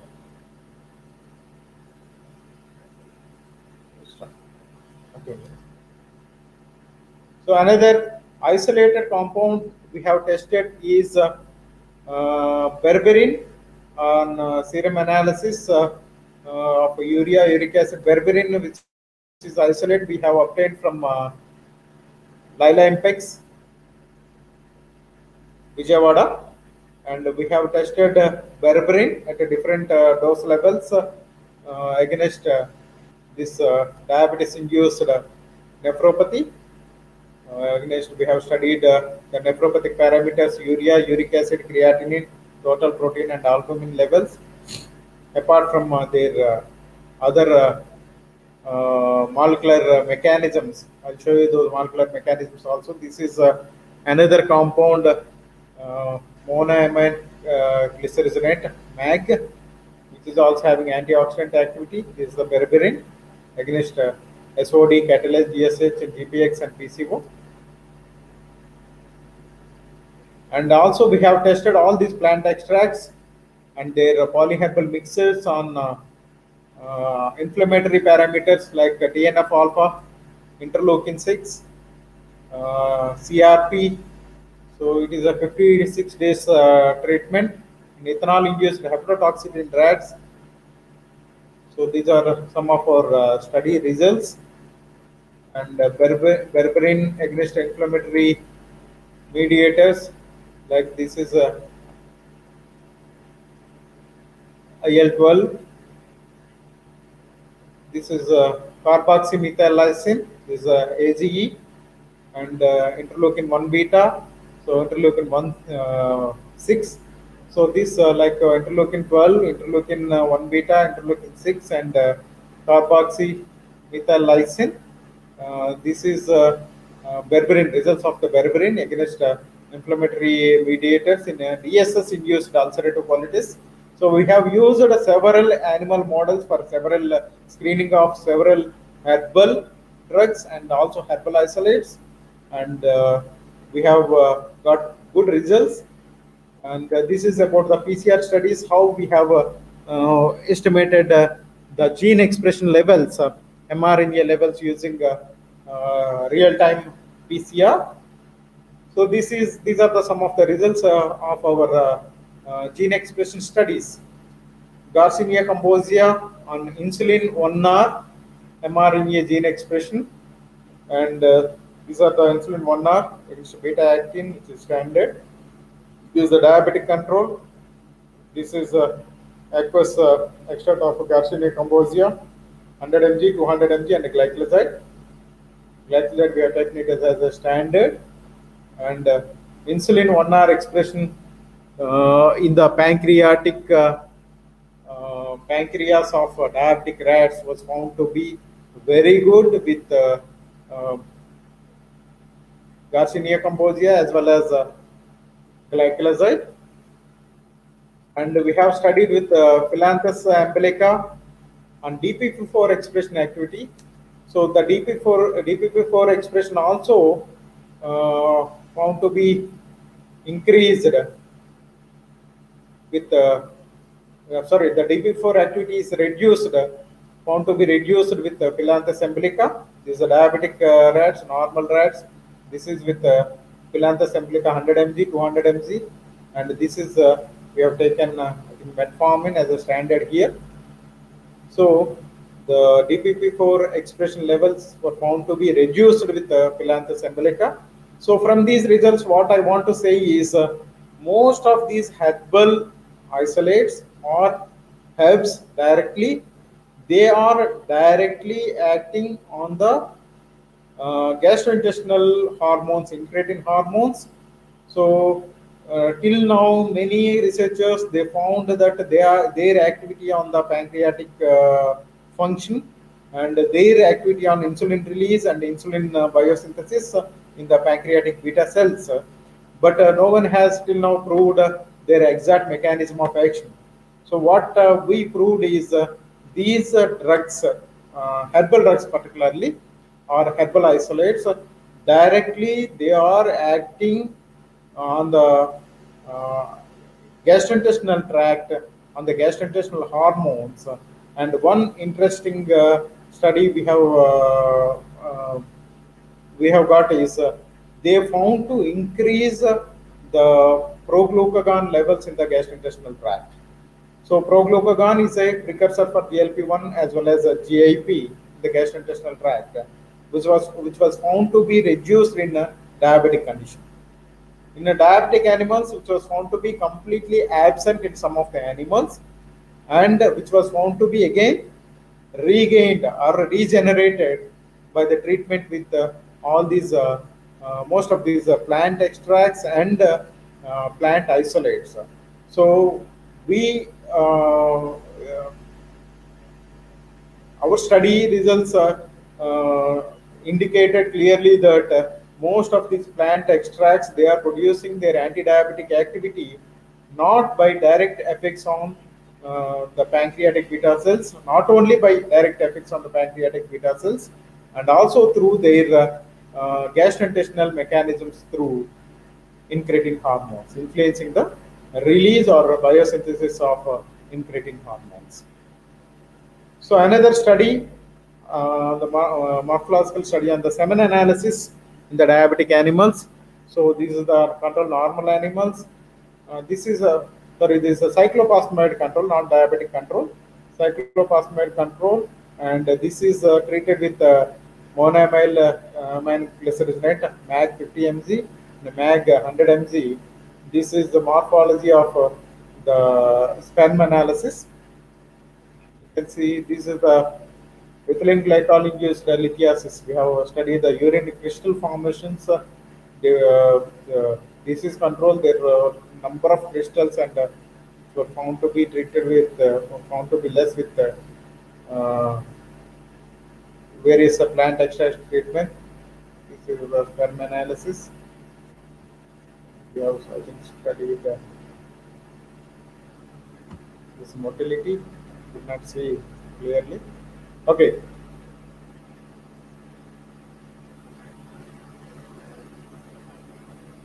Okay, this is actually video. It's not playing. Okay. Right. Okay, this is uh, uh, on the diabetic complications. Uh, we have used a slit lamp, slit lamp microscope for uh, grading the cataract that is developed uh, by uh, induction of diabetes. The diabetes was induced using uh, STZ and uh, we have studied uh, the cataract development and treatment with aqueous extract of pericarp extract of punica granatum at different dose levels. This is with normal vehicle control. This you can see a clear eye. Uh, this is diabetic. Here uh, you can see there is a uh, formation of the cataract and this is with uh, gliclazide treatment. This is with uh, 50 mg of punica granatum extract and this is 100 mg of uh, punica granatum. So this is using slit lamp microscopy. I also studied uh, fundoscopy examination for uh, cataract progression. So this progression, uh, this is a normal, and if you see the disease control completely uh, invisible, so completely uh, opaque, and there is no clear eye. This is the fundus is not visible at all. This is with the glycogen treatment, APPG and APPG 100 and uh, 50 and 100 mg. Also, this is another study uh, on DSS-induced ulcerative colitis in uh, biopsy, mice. This is a morphology of colon. This is a control group and DSS-induced group. There is a uh, the length of the colon was found to be reduced. Morphology, morphological uh, studies, and uh, this is uh, treatment with the berberine, high dose of berberine. So histopathological, histopathological studies, we have studied uh, um, pancreas. We- isolate all the organs uh, when we uh, go for any uh, study, like uh, liver, pancreas, intestine, brain, kidney, all the samples we store for histopathology study, a sample for histopathology study. Another tissue we store it in uh, liquid nitrogen for uh, uh, their gene expression studies. We study several genes uh, in those uh, uh, samples. So these histopathology studies, this is the pancreas histopathology. So this is the pancreatic beta cells. So this is this is control. So you can see here it is islet, islets of Langerhans, uh, blood vessels. BB this indicates the blood vessels. Pancreatic duct this is the duct. You can see the duct here. So there are uh, there is improvement in the uh, standard treatment and also another uh, treatment with the Rhamnus purshiana extract. So this is the histopathology of the ileum. This is a control control group. This is disease control. This is with the standard, and this is with the Rhamnus purshiana. You can see there is a microvilli. There is a disturbance in the microvilli. There is complete uh, breakage of the microvilli here, and uh, all these uh, changes, histopathological changes, uh, we can find uh, in the uh, ileum. And another uh, study normally we conduct uh, in in our laboratory uh, drug interaction studies. So why I am giving all these uh, studies, in vitro studies, is to make you understand about uh, uh, the research and uh, animal models, what kind of research we can conduct, starting from toxicity studies to screening of drugs for different activities, and also we can also study the drug-drug interactions. So we have studied uh, several drug interactions, particularly uh, with the anti-diabetic drugs. We, our interest is to establish the safety of uh, drug combinations in uh, the diabetes, diabetes uh, treatment because uh, diabetes is associated with several complications. Use of multi-drug therapy means different combinations of drugs are used by the diabetics. Our interest is to establish the safety of the, the drug combinations in diabetes and we have screened uh, several drugs for their interaction with uh, anti-diabetic drugs uh, and we we have published several papers in this area of research. The plan was like this. The study is conducted in two dissimilar species. It's a, a rodent and a non-rodent because it is also comes under the toxicity studies.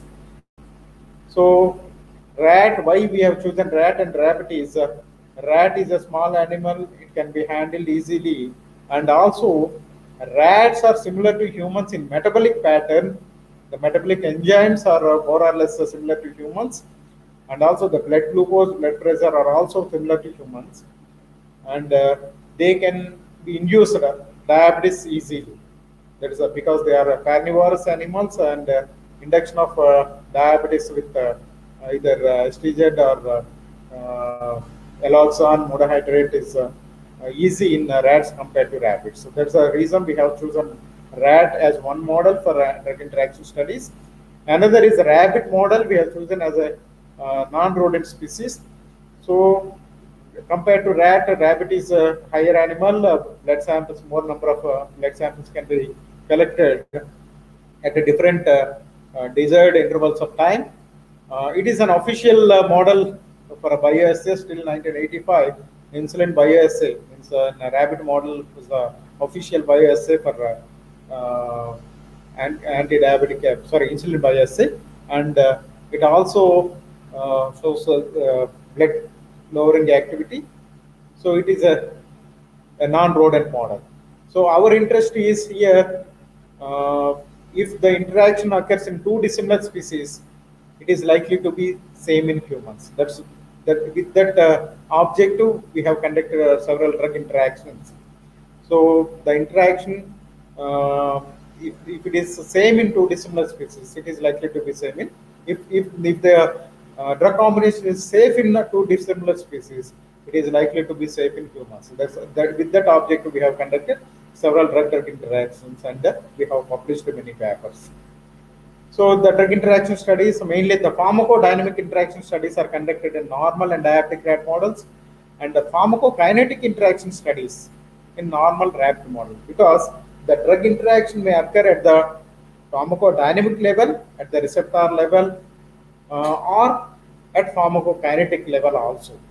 So both the pharmacodynamic interaction and pharmacokinetic interactions were studied in animal models uh, to establish their safety. Here, some of uh, the results. Uh, uh, actually, we have chosen gliclazide as a model drug for from the diabetic, anti-diabetic drugs, and we have checked different drugs, their combination with the gliclazide, and also uh, we have also taken gliclazide, glimepiride, and uh. So all these three drugs we have tested with uh, different other co-administered drugs. So mostly we have chosen drugs from uh, uh, cardiovascular uh, class and also antidepressants, some antifungal drugs, and uh, all these drugs which are mostly they are co- co-administered with anti-diabetic drugs in case of uh, diabetic complications.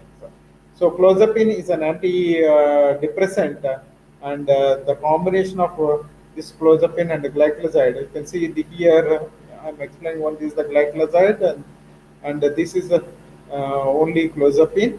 If you see this, the combination is not showing much increase. So it is likely to be safe uh, uh, because it is uh, safe in uh, diabetic rats. In normal rabbits, if you see normal rats, this is the diabetic rats and this is the normal rats. So this is uh, gliclazide and uh, this is with risperidone.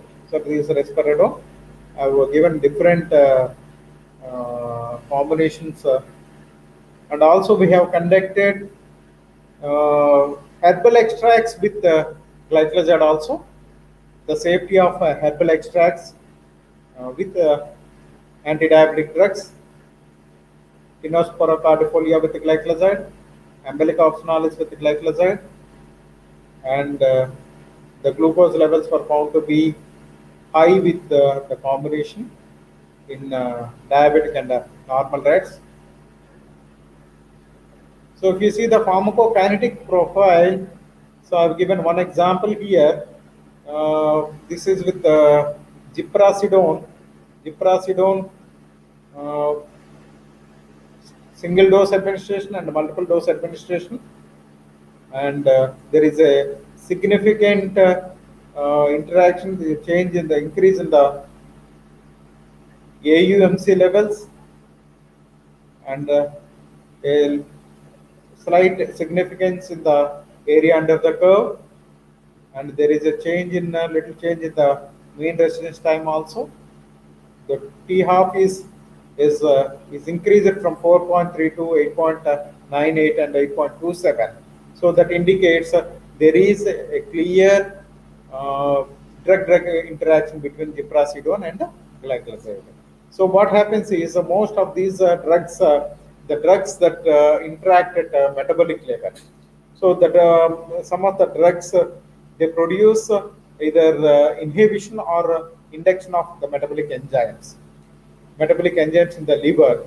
So because most of these anti-diabetic drugs they are metabolized through uh, cytochrome p450 enzymes particularly 3a2 and uh, uh, 2c9 and 2c19 these three enzymes which uh, particularly metabolizes uh, particularly the sulfonyl urea class of drugs and uh, whatever the drugs that inhibit these enzymes will interact with the, these anti-diabetic drugs. So uh, we have established the safety of uh, several classes of drugs uh, by conducting drug-drug interaction studies in animal models. Because drug interaction studies cannot be conducted in uh, humans uh, because it comes under safety studies. So normally, one when the new drug is uh, new drug entity is came into the market after its uh, clinical trial, uh, it is subjected for fourth phase clinical trials. In that, uh, they see for possibility for drug-drug interactions, particularly adverse effects. In that, one major adverse effect is drug interaction studies. So, drug interaction studies may be observed clinically, but to prove their mechanism of their interaction, they need to be studied in animal models. That's how uh, research can be extended uh, for uh, drug-drug interactions uh, in animal models also. Then we have conducted some uh, studies uh, uh, in uh, clinical studies also. Uh, most of them are uh, uh, in association with uh, King George Hospital and uh, Andhra Medical College. Some uh, studies uh, we have uh, uh, conducted uh, clinical trials also. This is a, a study of uh, incidence of breast cancer in uh, rural and urban population of uh, Vishakhapatnam.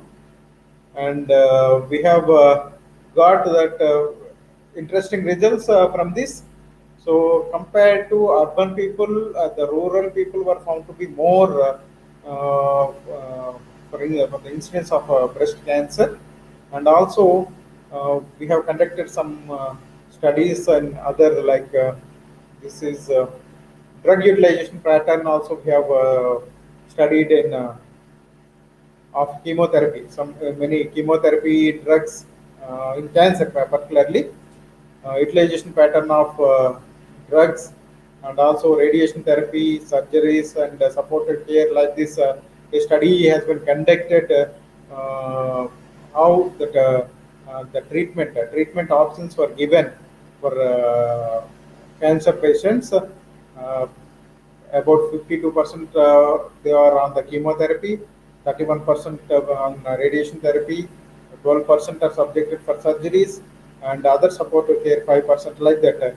So several studies our uh, uh, inform uh, pharmacy practice students and also pharmacy students uh, they go to the hospital for ward rounds and they do the some projects and we are also involved in some clinical trials that's what uh, clin- sorry clinical studies uh, this all means uh, why i'm uh, giving all these details is there is a lot of scope for pharmacology research starting from uh, toxicology to preclinical studies and also clinical studies.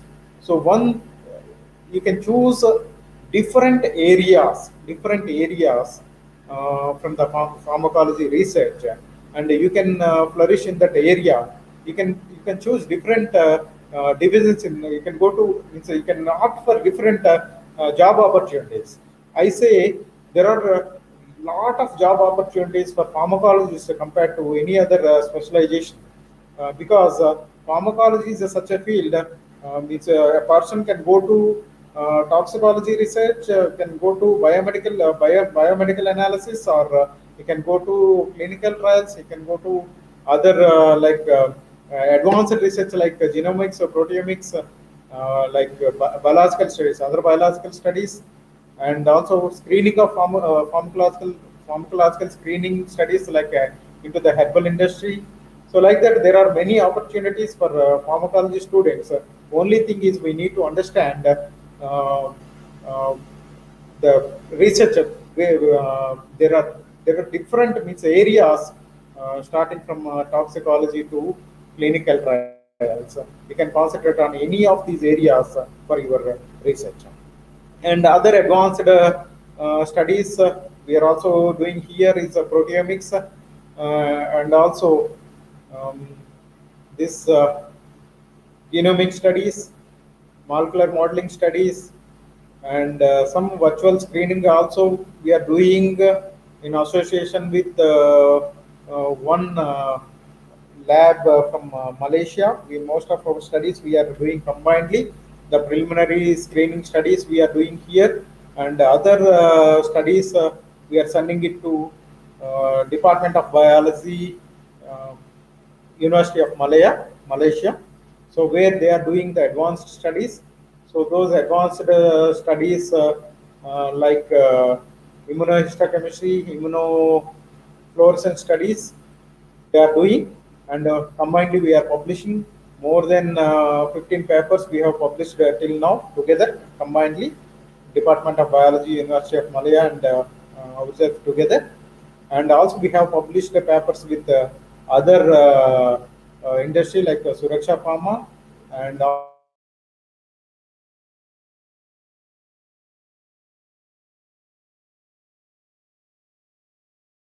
working there and their students are means uh, students from IICT are registered with uh, Andhra University for their PhD are they are also working. We're all working together and we published uh, several papers uh, in this uh, area of areas of uh, our uh, research. So this is we have developed a lab for proteomics and genomic research, research and we have conducted several gene expression studies. So these are our uh, uh, earlier uh, M.Pharm uh, project students. They are absorbed into different uh, laboratories And uh, these are our publications.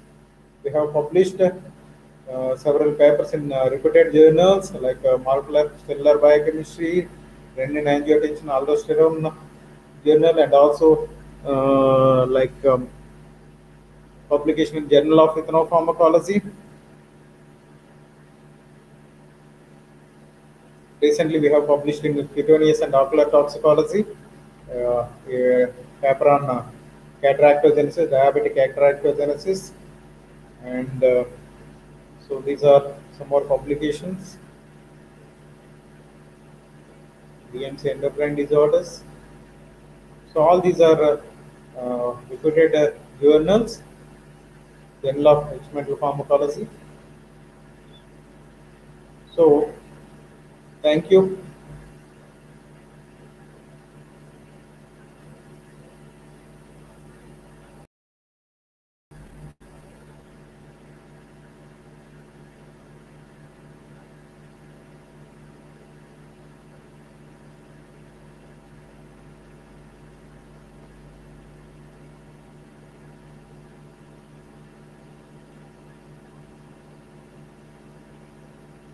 Thank you, sir. Thank you for your valuable information, sir. Uh, we got uh, a valuable information uh, from basic pharmacology to advanced pharmacology and different uh, research methods, and this is very useful for the uh, academicians as well as research fellows. So, and all other uh, the students who are uh, studying pharmaceutical sciences. Thank you uh, very much, sir. Thank you for your uh, valuable Thank you. If Now I there are any questions, uh, I'm ready to answer. Okay, sir. Uh, uh, our participants uh, having some questions. Yeah.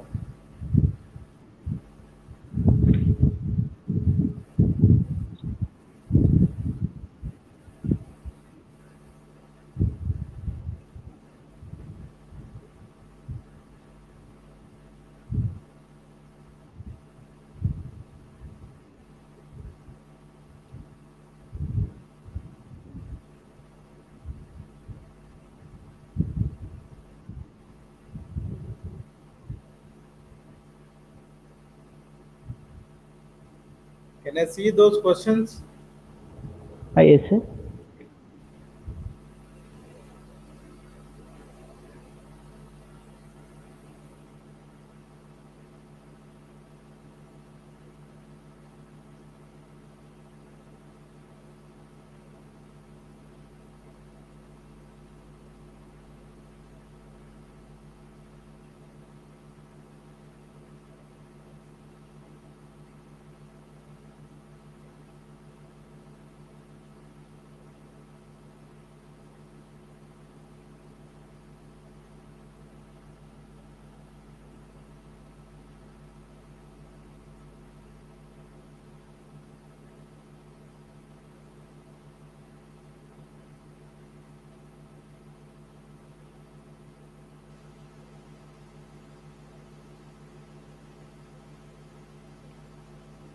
So can I see the questions? Uh, how can I see?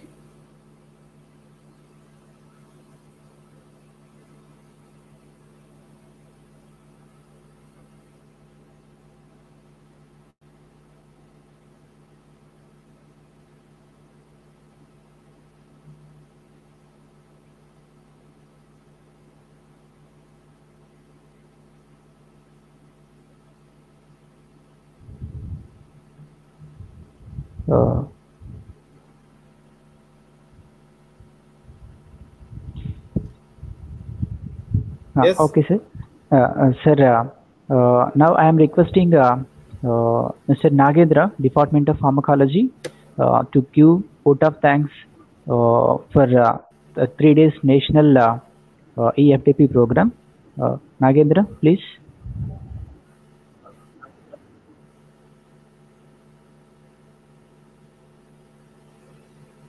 Pardon?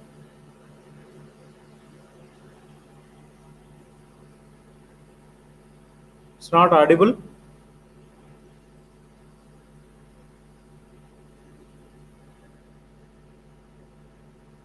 Can I answer some of the questions? Uh,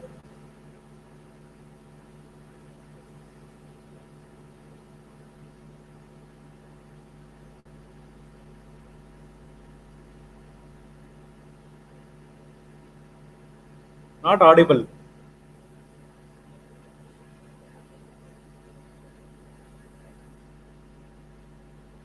Somebody is speaking, but it is not audible.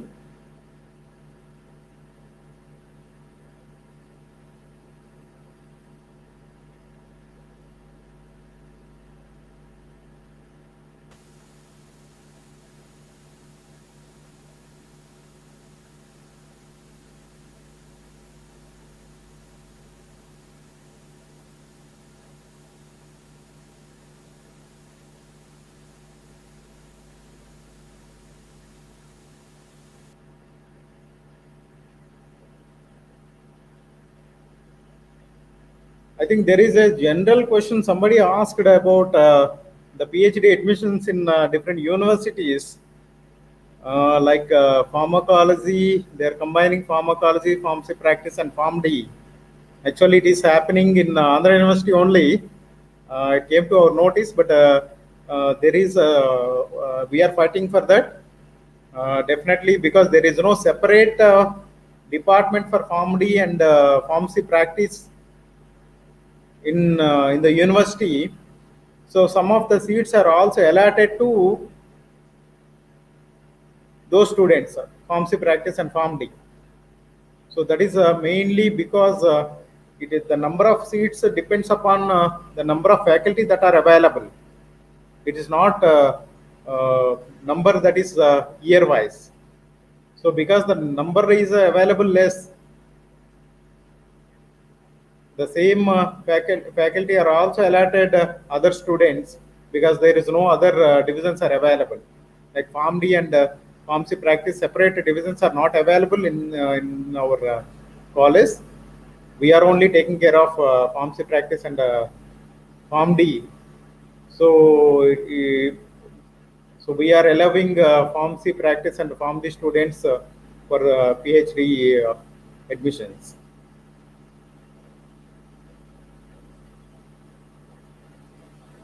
If you still have any uh, questions, uh, you can uh, also personally can uh, send me messages or you can call me at any time.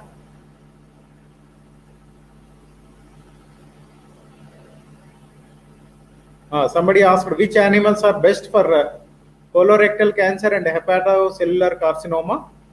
So there are uh, like um, specific inbred animals are available for uh, colorectal cancer, but uh, colorectal cancer can also be induced by uh, different uh, chemical models. But animals are, particularly mice or rats, are used for uh, cancer studies, either mice or rats.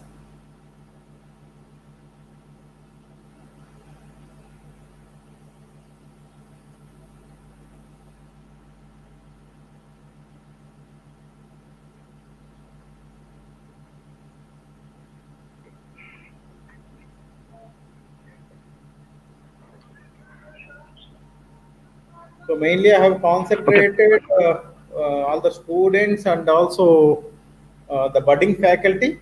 So that's the way I have concentrated more on the basics rather than the advanced studies. I have not discussed much about the techniques of the research because one need to know where to do research. Uh, many people they believe that uh, only uh, screening of drugs or advanced molecular uh, studies only the research. But uh, research can be done uh, even at a basic levels. You can do many toxicity studies. Because i have worked for about one year in uh, drug safety evaluation division of Ranbaxy laboratories. I know the toxicity research. And we can uh, definitely we can do toxicity studies uh, we can do a lot of uh, research uh, in that uh, area. And also very less people are concentrating on um kinetic studies pharmacokinetics.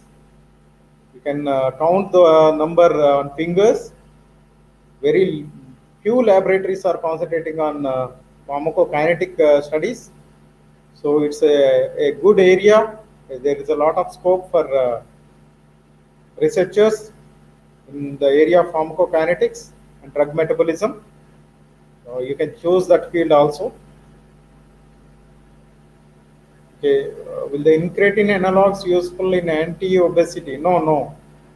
They are they are uh, not useful uh, as anti-obesity agents, uh, but uh, uh, they are meant for uh, anti-diabetic activity only. They are not screened for uh, other activities. Uh, but they are uh, mainly uh, uh, having major adverse effects. Better until unless they are required for those who are resistant to existing conventional anti-diabetic drugs. Such people only can be given uh, these uh, incretin analogs or uh, DPP-4 inhibitors, but uh, they are not useful for uh, other uh, purpose like anti-obesity. So my suggestion is don't prefer any drug for reducing obesity. Try to reduce by food control and also by doing exercises.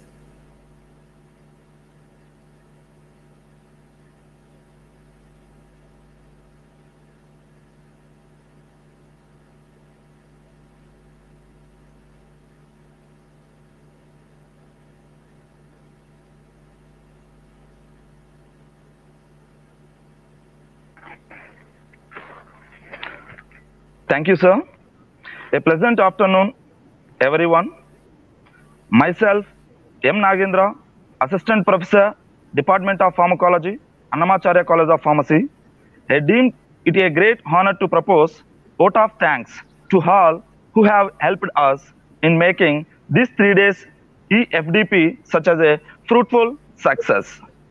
First of all, I would like to propose hearty thanks to our chief guest, Professor B. Jaikar sir, PCI, EC member and registrar, Vinayaka Mission University, Salem. Thank you, sir, for your valuable speech to EFDP such as a great initiation. I would like to thanks our guest of honor, Professor V. Satyanarayan sir, Director, Academic and Planning, JNTU, Anantapuram. Thank you, sir, for your excellent motivational speech, such a EFDP program. Next, I would like to thanks to Dr. B. Durga Prasad sir, Controller of Examination, JNTU, Anantapuram. Thank you, sir, as a part of this event.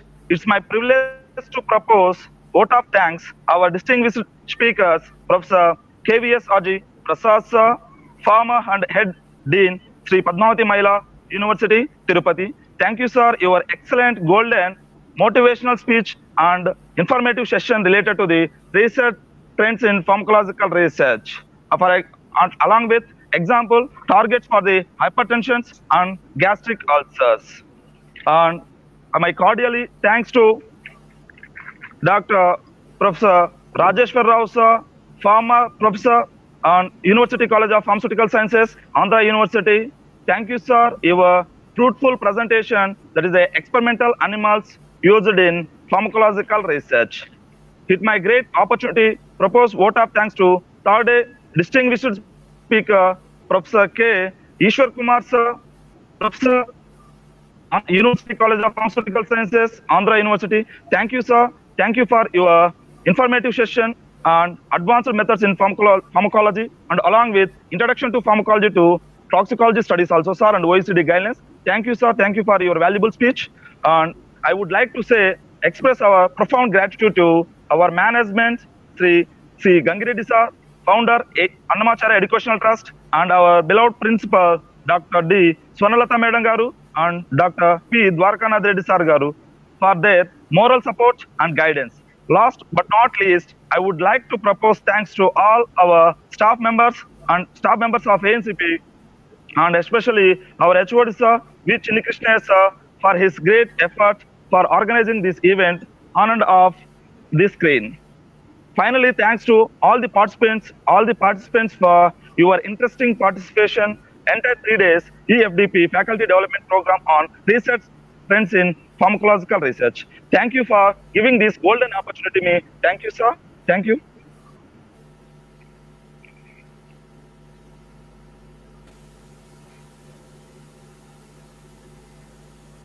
So thank you, thank you, thank you, the organizers, the entire uh, faculty, principal faculty of uh, Annamacharya College of Pharmacy, the management of Annamacharya College of Pharmacy, and uh, thank you all the listeners.